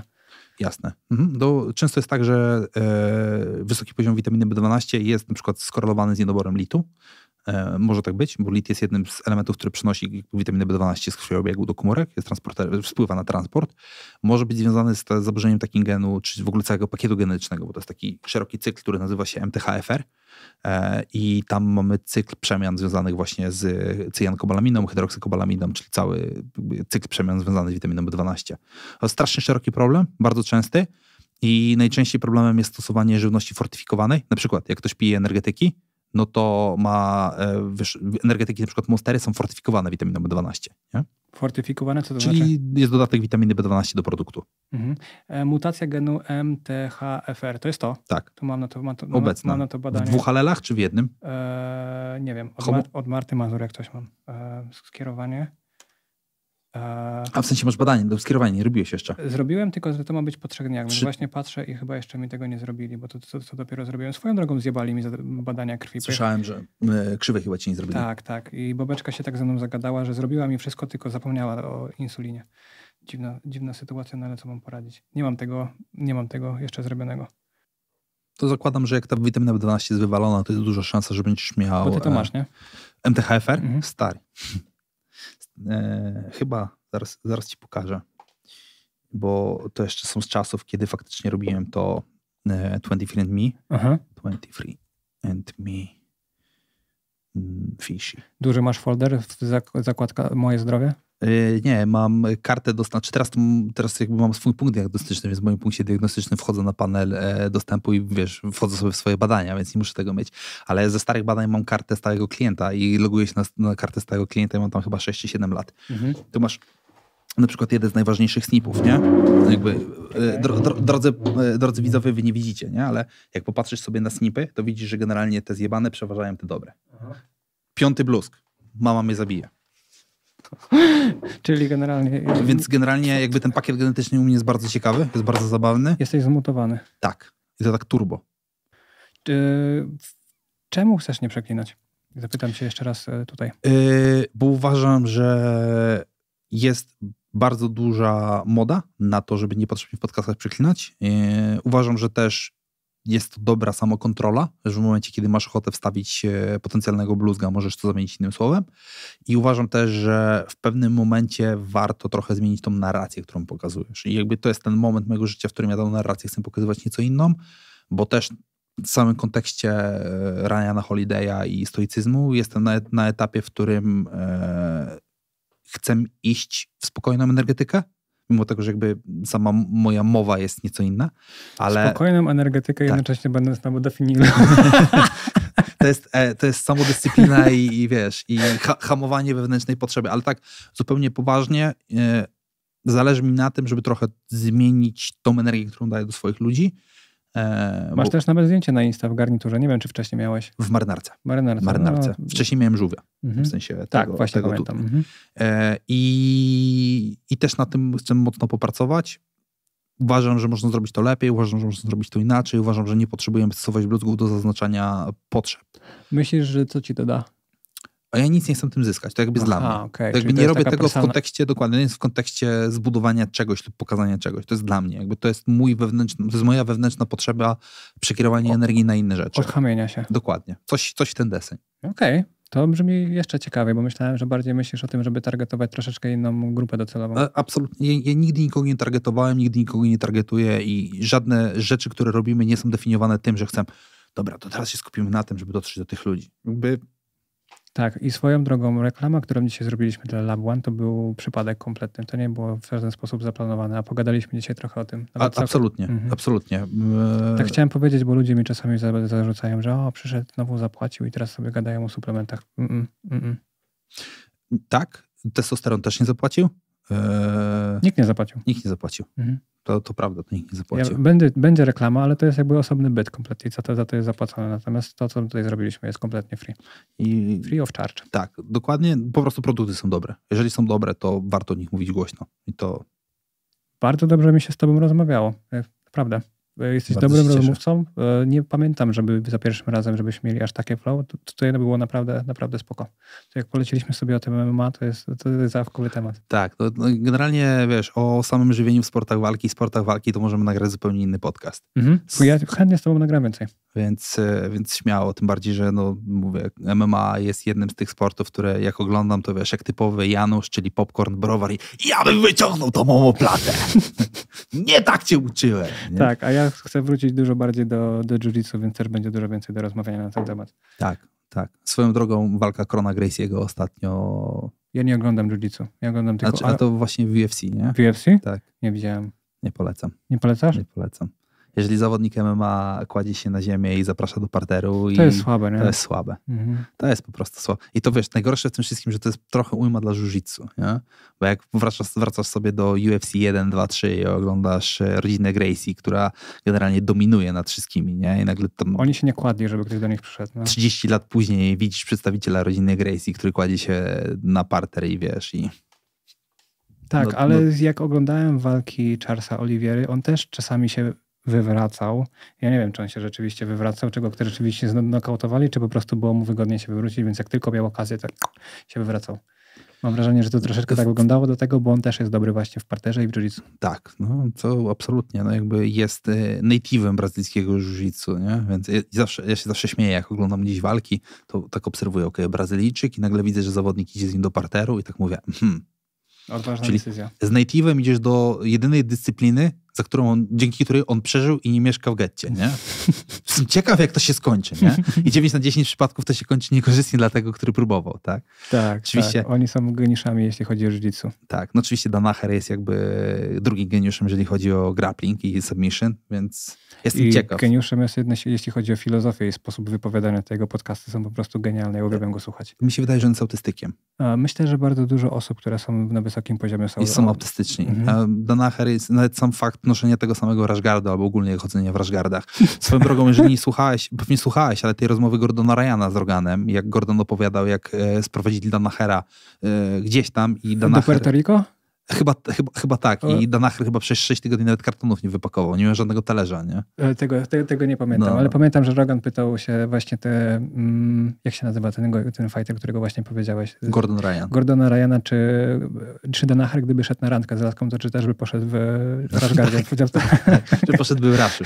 Dokładnie. To się zgadza. Więc, więc jest absolutnie ge- geniuszem, jeżeli chodzi o kwestię brazylijskiego. e, Submission fighting, no bo jakby myślę, że to bardziej idzie w stronę grapplingu. Najciekawsze jest to, że on mówi tak, jakby czytał podręcznik. To jest po prostu niesamowite, że ja go słucham i on mówi, ta pozycja robi się tak i teraz podpunkty, wymienia jeden punkt, wymienia punkt. Nie ma w ogóle takiego skakania po tematach, to jest niesamowite. Tak. I to pewnie jest właśnie Autystyk, autystyczne. no. Autystyk. No i jakby sam fakt, że the best offense is the best, the best offense is defense. Mhm. Bo jeżeli znasz defense każdej pozycji, to żaden offense nie jest ci straszny, nie? To jest... Dokładnie. E, Zalecamy bardzo słuchać e, Johna Danahera, bo to jest, to jest naprawdę, nie mam, nie mam drugiej osoby, która by, on jest tak specyficzny, że warto posłuchać, jeśli nawet jeśli nie interesujecie się jiu-jitsu, to warto posłuchać po prostu tego, jaka to jest osoba, bo on też jest, wcześniej uczył filozofii na, na jakiejś tam uczelni, z tego co pamiętam, więc jest turbo ciekawą osobą. Bardzo Ci dziękuję za dzisiaj. Również bardzo Mam nadzieję, dziękuję. że do zobaczenia.